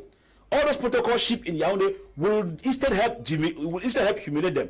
That is why I said if a Fon is serious, each village or area has a constituency where you have a parliamentarian or a mayor. You can pass through those people if you like. Send them to Yaoundé. They can go on their behalf. And when the minister they will say, My Royal Majesty has sent me to you, pleading that you should do this thing. I mean, that is where you can see the meaningful development because in real terms, you have not seen some particular things carried out in of developmental projects on, in the various villages as a result of those Fons being in partisan politics. On the other hand, they are being in partisan politics is for their stomach. All these Fons and chiefs you see like that, they are fighting for their stomach. When they enter the ruling party and political things, they know they are hearing. They should hear me very well. If somebody tells you these Fons are working for the interests of the village, now lie. I say fat lie. When they go there, you know we were following this issue. Norwest Fons Union, Southwest Fons Union. What did the government do? To, they picked up the president of Northwest Fons Union, a senator. Picked up the president of the Southwest Force Union, senator. So they had to use most of them to be controlling. I mean, the former, all of them were former. They had to use them to be controlling and penetrating the Fons in terms of politics. And what is happening? We know about a statement called royal beggars. Most of these Fons have been humiliated Yaoundé several times. I remember sometime at the funeral of Chantal, uh, is it Elen Bia, somewhere in Mvomeka'a. Most of the Fons, especially those of the Northwest, were abandoned somewhere there in Mvomeka'a. And Rain dealt with them very well. I know the story. They are listening to me. They are listening to me. And so, if you look at the ones in the uh, uh, of other chiefs in the southwest, there are many times that they have had, they have been abandoned at the prime minister's office. Former, they know what I'm talking about. Where they go there in their group, they go with the effigies that they want to go and give the head of state uh, special effigies. When the police that they are looking for where to, to collect money, they know what I'm talking about. You see that design something that you are going to praise the head of state, you go and see that your group that we have been mandated because in return money will come to you. These funds only look for money for their pockets in politics. So they don't mean good for the people. The only people you are they are supposed to see is to go to the elite who are politicians. But unfortunately, you will see today, like for the case of Southwest, funds who are loyal to the regime gets a new layout. Funds who are loyal to the regime, they can easily meet other people and say, okay, there's a village where nobody is there. We hear Douala Tiko village is existing. How is it existing? Somebody has to be found there. Check the person who has to be found of the Douala uh, village. He must be in the ruling party. Why? Because with some sort of compensation, they can come out a new lay, they can come a new layout and give you to make money from it. You buy cars and move in luxury. Why will you not support the regime? But is that a duty you're supposed to do as a Fon? No.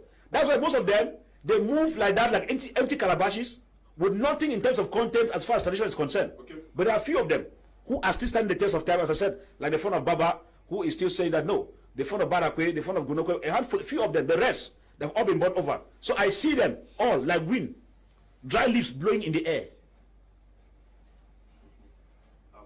And chiefs uh, deserve some respect. Um, we are discussing whether they should be in politics or not. But Chairman, those who are in politics don't deserve respect because they have dislocated the traditional authorities. I'm talking as a Pan-Africanist and a traditionalist.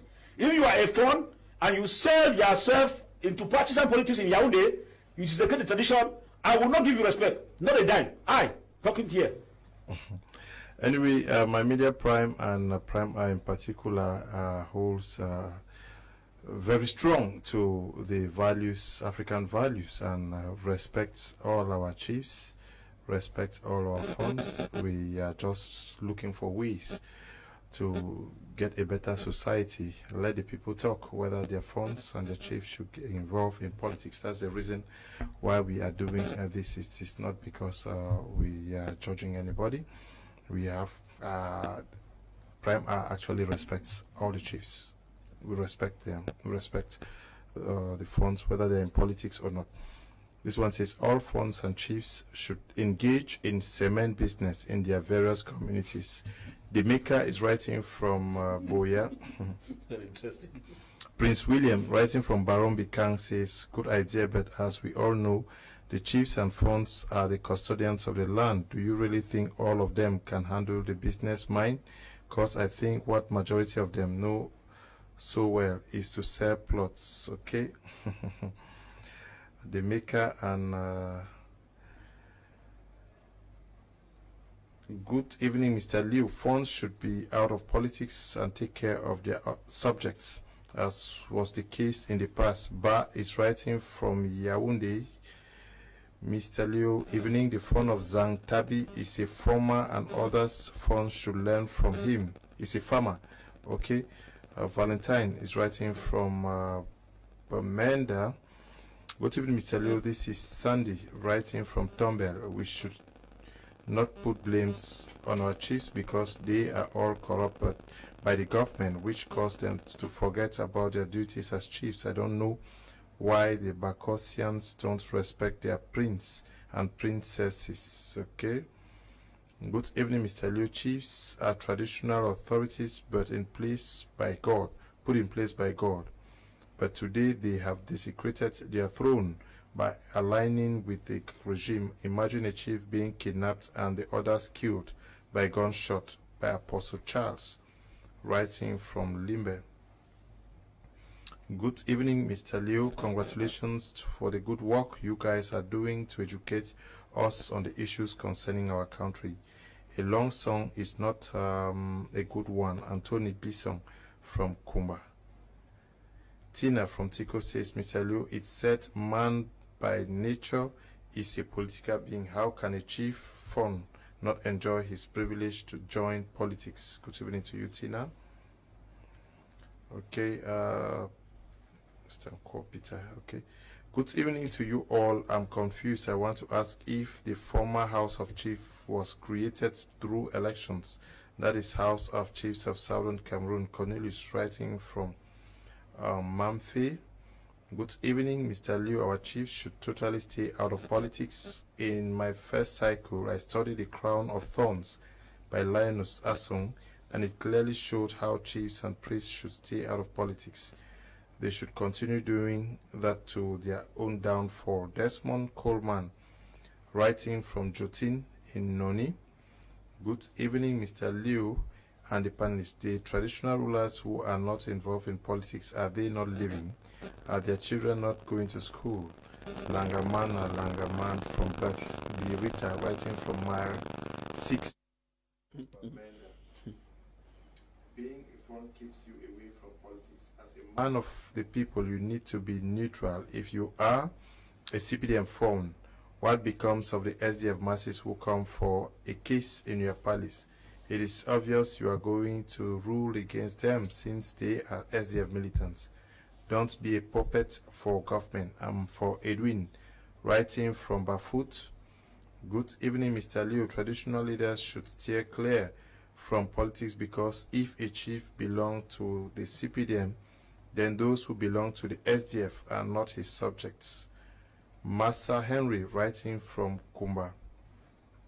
Our chiefs are not to get into politics, but I don't blame them. The CPDM regime has taken them hostage. If they don't get into politics, then development will not will be slow in his chiefdom. Have you seen any of them in the opposition side? Frank is writing from Bermuda. Okay, um, we have to end here, unfortunately. Um, one last question for you all.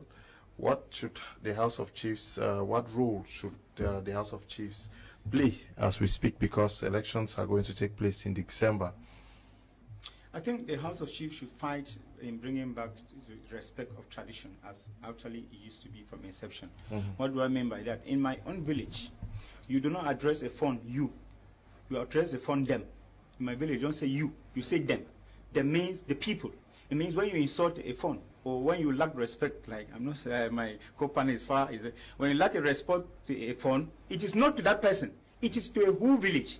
And therefore, we usually understand that when a Fon makes a mistake, it is his own very oath that he took that will condemn him. And he always does. So that one, it doesn't, uh, we don't make a mistake about that. And I will uh, see, uh, somebody remarked me, uh, and this uh, Prime Minister, Philemon Yang, who just, uh, uh, the former Prime Minister, when he was appointed, I was in a delegation of the Northwest Fund that went to pay him a, a visit. Immediately he was appointed. All the Fons from the Northwest went to, to respect. I was in that delegation. And they carried gifts. And when they went to give the gifts to the Prime Minister, the Prime Minister said, no, I do not need the gifts. You need the gifts. It was very remarkable to me. The Prime Minister refused to take the gifts. He said he doesn't need them. They, the Fons, they need the gifts, and then they should take the gift back. I'm saying this until, and the Prime Minister is is listening to me, will record that incident. And many people were like, this man, what is he coming to? And now they started calling Mr. Strict. I mean, I think that he did the right thing. Because those gifts that the Fons carried, they didn't have what to eat. They were carrying to come and give the Prime Minister who has everything. So I think the House of Chiefs should be able to, to revamp our tradition and make our tradition worth it. It should be like a referee to be able to call some chiefs in order. Those chiefs that get into politics and they lose their heads. I think that the, that the House of Chiefs should be able to put this straight. Do you um, think that anything is going to change with the way chiefs carry themselves in the southwest and northwest region and Cameroon with it coming uh, into a place of the House of Chiefs? I think that the way the the traditional chiefs and the rulers, their attitudes will will change because with the coming elections, the regional elections will give them more power, will give them more ability to ex- to exercise to exercise their their power to their community. And I will also say that the House of Chiefs should also work to restore back the sacredness of the chiefdom in our villages and in our community. Because chiefs are no longer regarded. Chiefs have lost their respect. So i plead on the house of chiefs to work hand in hand to find a possibility to be able to restore back that respect, that sacredness of the chiefs.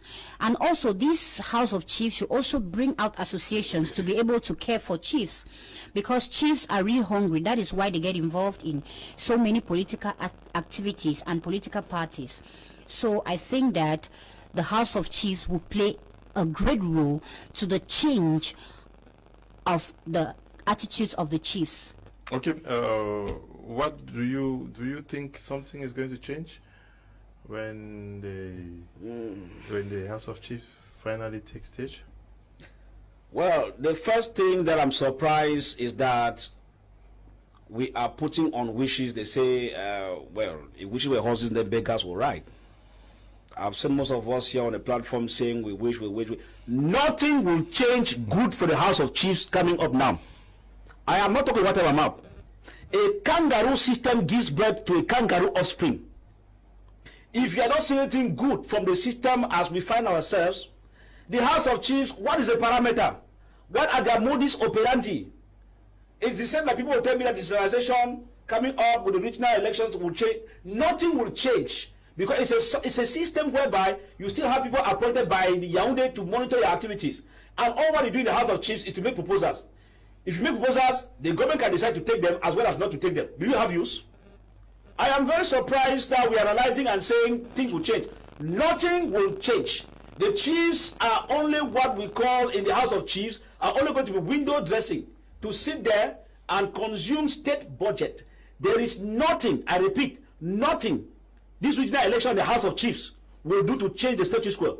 After all, like uh, my sister Akwe quite said here, that uh, because chiefs are hungry and all the like, there is no way the government will empower those chiefs because government instead want them to be vulnerable. So when they are vulnerable, they can always call them to perform assignments for the government. So the government does not strain getting to the villages and carrying out his modus operandi, which are evil. At the end of it, if you empower the chiefs, tomorrow they will start telling you when you give an action, they say, no, wait first, let me think. So the government is not stupid. Yaoundé regime is very, very intelligent in terms of evil uh, manifestation. So they will do everything possible to keep the chiefs at a beggary position and then keep the House of Chiefs as a window dressing. In fact, not us. The House of Chiefs is a window dressing. Regional election councillors will be window dressing. That is what we should find. If the Senate, the National Assembly, that are well-structured institutions cannot change a dime in impacting meaningful change in the government system, in the government state, in the, country, will it, will it be regional elections? Will it be regional councils? Will it be regional chiefs? We are all wasting our time. I'm sorry we are wasting our time. There is no good thing. Chiefs, hear me very well. I know people are happy to go there. Just go there and eat your money. If you think there will be an impact to change the status quo, it cannot go unless a backed up constitution is put in place. The entire system of the chieftaincy structure is restructured, and then before you can begin to see its implementation and even if it's for House of Chiefs, comes regional elections coming up 6th of December. That one is window dressing, another structure, just to be wasting state budget. Let them enjoy. A time is coming. They will account for those things.